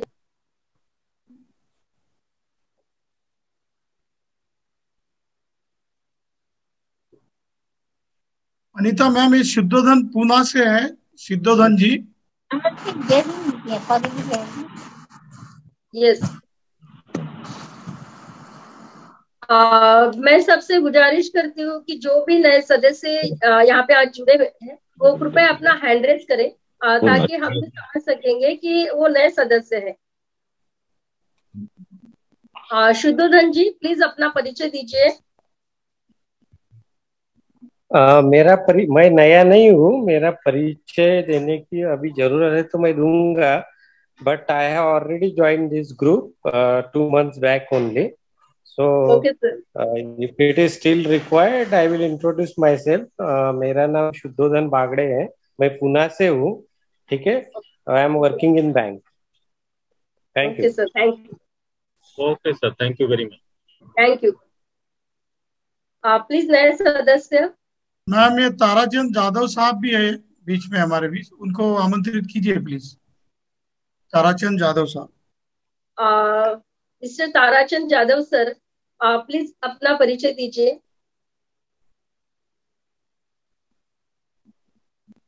दो हैंड रेज भी है। अनीता जी दो हैंड रेज है उनको ले लो। यस सर दो हैंड रेज है। राजवीर सिंह जी। मिस्टर राजवीर सिंह जी, आप अपना परिचय दीजिए प्लीज़ आपका माइक म्यूट है। Rajveer ji please mic unmute करके अपना परिचय दीजिए। सभी साथियों को जय भीम नमो बुधाए मैं राजवीर सिंह, पानीपत से जी। राजवीर सिंह दूसरे दूसरे है राजवीर राजवीर सिंह जिन्होंने हैंड रेज किया है। और माइक म्यूट है सर माइक म्यूट है उनका। अच्छा एक वन प्लस नॉड है Anita ma'am. Mister yes sir Udaybhan Lange sir भी हमारे यहाँ पे वाशिम से जुड़े हुए हैं। कृपया अपना परिचय दीजिए सर सबको क्रांतिकारी जय भीम। मैं हाँ करीबन मैं वन मंथ से आपके साथ जुड़ रहा हूँ और आपकी जो आइडियोलॉजी है काफ़ी अच्छी है। और रमेश कटके जी जो सर है उनके साथ काफ़ी अच्छा एक्सपीरियंस रहा है मेरा काम करने में सोसाइटी में जाके। तो ये जो कंसेप्ट है वी द पीपल काफ़ी अच्छा है और मुझे लगता है कि ऐसे प्रोग्राम में बहुत सारे लोग जुड़ने चाहिए और सर हमेशा उनके साथ कनेक्ट करते रहते हैं। और मैं लास्ट टाइम भी मेरा इंट्रोडक्शन दिया था इसलिए अगर कोई नया आदमी है तो इंट्रोडक्शन दे सकता है नहीं तो फिर Katke sir yes yes yes thank you thank you very much Lande साहब थैंक यू सर यहाँ पे और वन प्लस नॉट करके किसका मोबाइल नंबर है उन्होंने शायद नाम नहीं डाला है। uh, तो प्लीज़ अपना परिचय दीजिए। One plus not hello hello आवाज़ आ रही है मैम हाँ आ आ, सर जी मैं प्रोफेसर सूर्यकांत माधुरा संभालकर बात कर रहा हूँ औरंगाबाद से। हमारे मित्र वानखेड़े सर इन्होंने मुझे प्रेरित किया आज आपके जूम ऐप पर ज्वाइन होने के लिए मैं सबको जय भीम करता हूँ सर जय भीम नमो बुद्धाय। हाँ, बोलिए सर सर आप क्या करते हैं? मैं प्रोफेसर हूँ सर कॉलेज में. पर कौन कौन से कॉलेज में हो आप औरंगाबाद में? यहाँ औरंगाबाद से आठ किलोमीटर पर एक कन्नड़ नाम का गाँव है। अच्छा, वहाँ पे आर्ट्स कॉमर्स साइंस कॉलेज है वहाँ पर हूँ। अच्छा परम खोपे सर को पहचानते हैं आप? पीपल्स एजुकेशन सोसाइटी में जो प्राध्यापक है इंजीनियरिंग में? जीने से उनकी मुलाकात नहीं हुई सर। ओके ओके वो भी औरंगाबाद से ही है। अपना नंबर चैट बॉक्स में छोड़िए। अच्छा। हम अलग से बात करेंगे फिर please okay sir okay. Thank you thank you okay sir. आपका परिचय सुन नहीं पाया सर। मैं रमेश कटके हूँ। मैं गवर्नमेंट ऑफ़ महाराष्ट्र में रजिस्ट्रार हूँ। और बाबा साहब के लंदन के घर का मैं ऑफिसर ऑन स्पेशल ड्यूटी था। और मैं विद पीपल यहाँ इस संघ से पिछले डेढ़ महीने से जुड़ा हूँ। और मुझे यहाँ पर अच्छा लगता है। मैं बहुत सारे लोगों को आमंत्रित करते रहता हूँ। और ये आइडियोलॉजी बहुत बढ़िया है, जिससे कि हमको जो भी हमारे हेतु और उद्देश्य है, वो अगर प्राप्त करने हैं तो इतने सारे इंटेलेक्चुअल लोगों के साथ बार बार जुड़ने से मुझे बहुत आनंद मिलता है। धन्यवाद जय भीम नव बुद्धाय। नमो बुद्धाय जय भीम। मैं यहाँ पे मेरी बात रखना चाहूँगी। सम्मानीय आ, रमेश जी कट्टे सर आ, इन्होंने जो डॉक्टर बाबा साहब अंबेडकर का जो लंदन में घर है आ, उसके लिए मतलब वो महाराष्ट्र सरकार को सबको- सबको पता है, मैडम। मैडम वो परिचय परिचय कीजिए लेकिन बुलाइए कुछ लोग नए जुड़े हैं। यस सर यस सर लेकिन फिर भी हाँ, कुछ लोग नए हैं इसलिए मैं यहाँ पे वापस से हाँ यस सर तो थैंक यू यहाँ पे जो नए आज सदस्य जुड़े हुए हैं उनसे मैं गुजारिश करूँगी कि अपना परिचय दीजिए।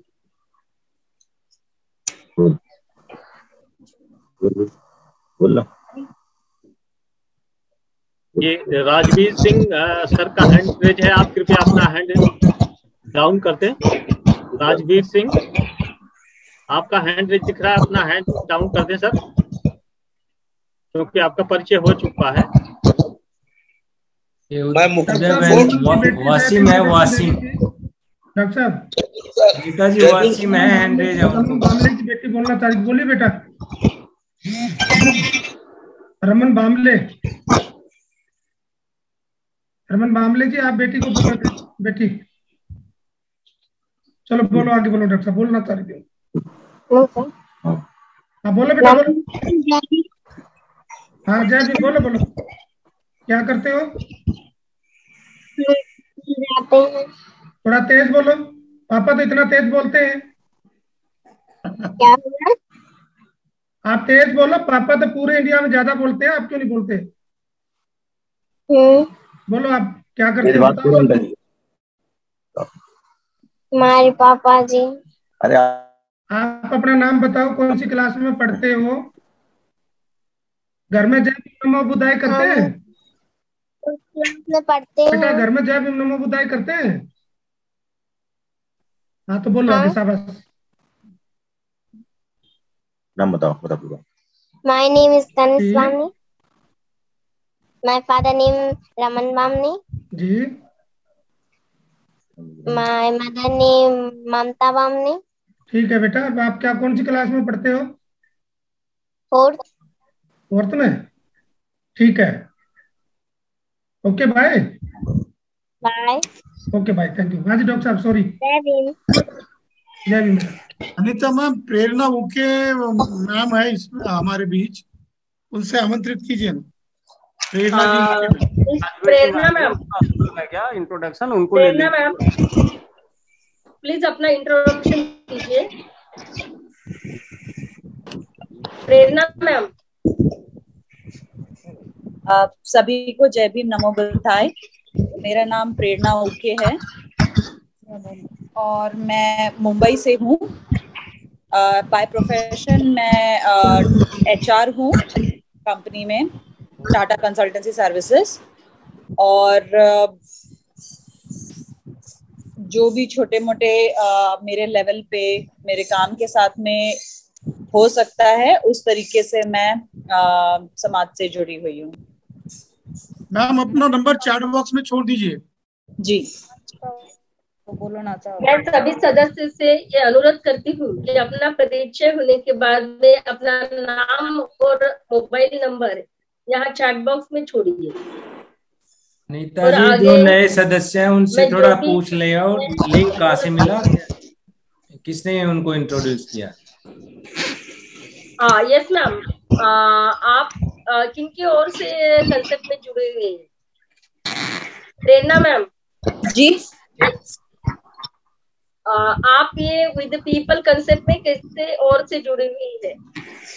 किसने जुड़ाया एक्चुअली जो मोतीलाल भैया हैं उनकी और मेरे पापा की किताब है जिसके थ्रू मुझे इनविटेशन आया था। मेरी मम्मी ने मुझे फॉरवर्ड किया था तो मैंने ऐड किया है। तो रत्न मानिका उके मेरी मम्मी और अमृत लाल उके मेरे पापा। जी जी वेरी गुड नमो बुद्धाय जय भीम सर। नमो बुद्धाय जय भीम सर। जय भीम। मुकुंद बंसोड़ छत्तीसगढ़ दुर्ग से बोल रहा हूँ मैडम?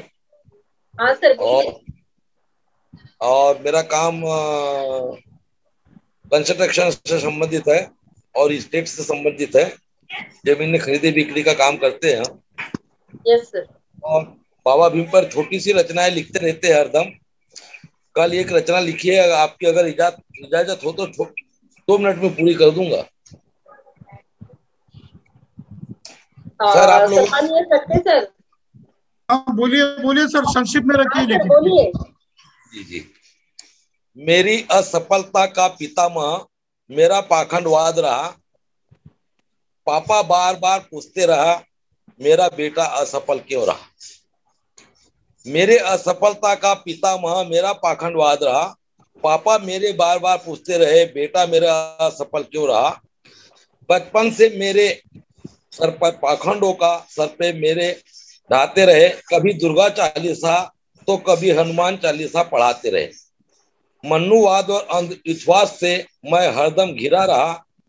ब्रह्मा, विष्णु, महेश मेरे मन मंदिर में भरा रहा।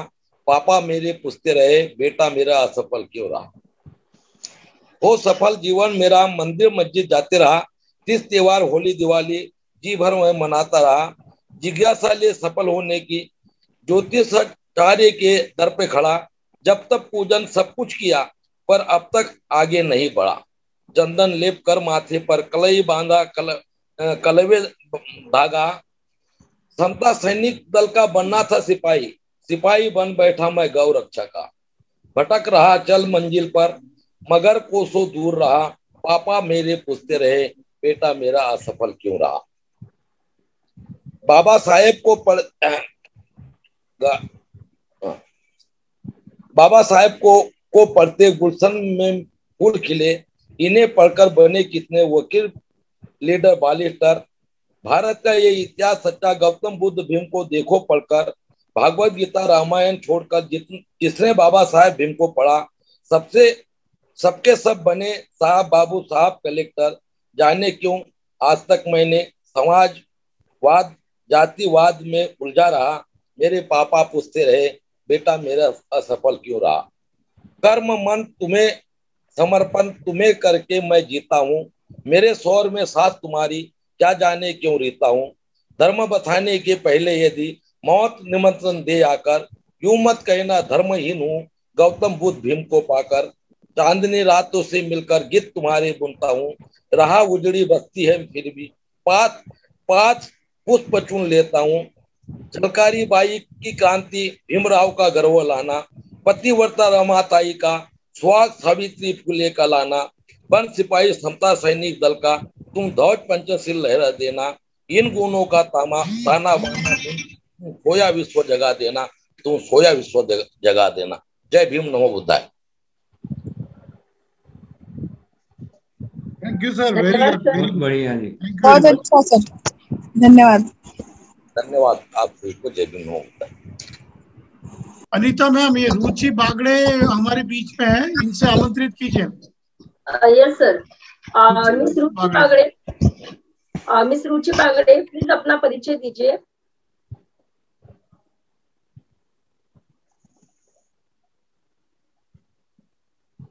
रुचि बागड़े प्लीज़ अपना परिचय दीजिए।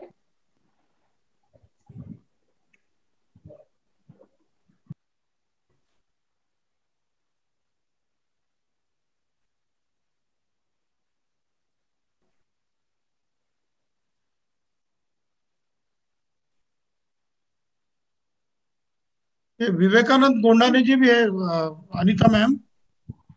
Yes sir Vivekanand Gondane ji.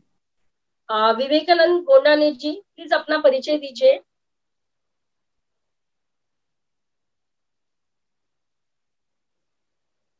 हमारे पास पहले से ही समय की पाबंदी है तो प्लीज़ अपना परिचय थोड़ा जल्दी दीजिए। रुचि बागड़े विवेकानंद गोंडाने जी प्लीज़ अपना परिचय दीजिए।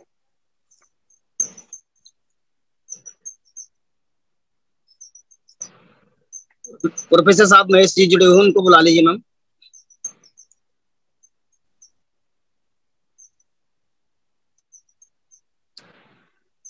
Yes sir Mahesh Aharwar ji professor साहब का परिचय नहीं हुआ क्या? उनको बुला लीजिए।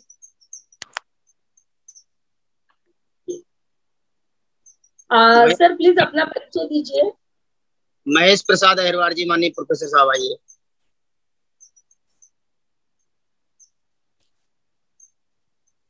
महेश प्रसाद साहब। हेलो। महेश प्रसाद अहिवार जी प्लीज़ अपना परिचय दीजिए। यस सर महेश प्रसाद अहिरवार लिखता हूँ मैम और मैं बनारस हिंदू यूनिवर्सिटी में प्रोफेसर हूँ। Ancient Indian history culture and archaeology में। वैसे ग्रुप में मैं पहले से जुड़ा रहा हूँ। आज पहली बार ऑनलाइन इस पे मीटिंग से जुड़ा हूँ। आप सभी को जो साथी भी इस ग्रुप के सदस्य हैं उनको मेरा सादर जय भीम नमो बुद्धाय और कटके लोगों ने ये आयोजन किया है उनके प्रति मैं आभार व्यक्त करता हूँ। माननीय सुदेश तनवर जी से इत्तेफाक बात हो गई थी। थोड़ी व्यस्तता की वजह से मैं इस लिंक को नहीं ज्वाइन कर पाता हूँ। पर इत्तेफाक सुदेश तनवर साहब ने बात की सुबह। वो किन्हीं और को लगा रहे थे। तो मुझे पता लगा कि आज ये किताब का लोकार्पण है तो मैंने सोचा आज मैं ज्वाइन कर लूँ। जी जी भाई साहब थैंक यू जय भीम। कटके सर। हाँ यस सर हाँ मेरे ख्याल में नौ बजे ना माइक मोतीलाल जी को दे दीजिए क्योंकि वो किताब का विमोचन करेंगे तो अपने हिसाब से स्टेज चलाएँगे मंच को। हाँ Anita ma'am yes sir Motilal ji को अगला कीजिए प्लीज़ यस सर आज धम्मलिपि और पाली व्याकरण भाग तीन यह पुस्तक का विमोचन है। आ, तो मैं मिस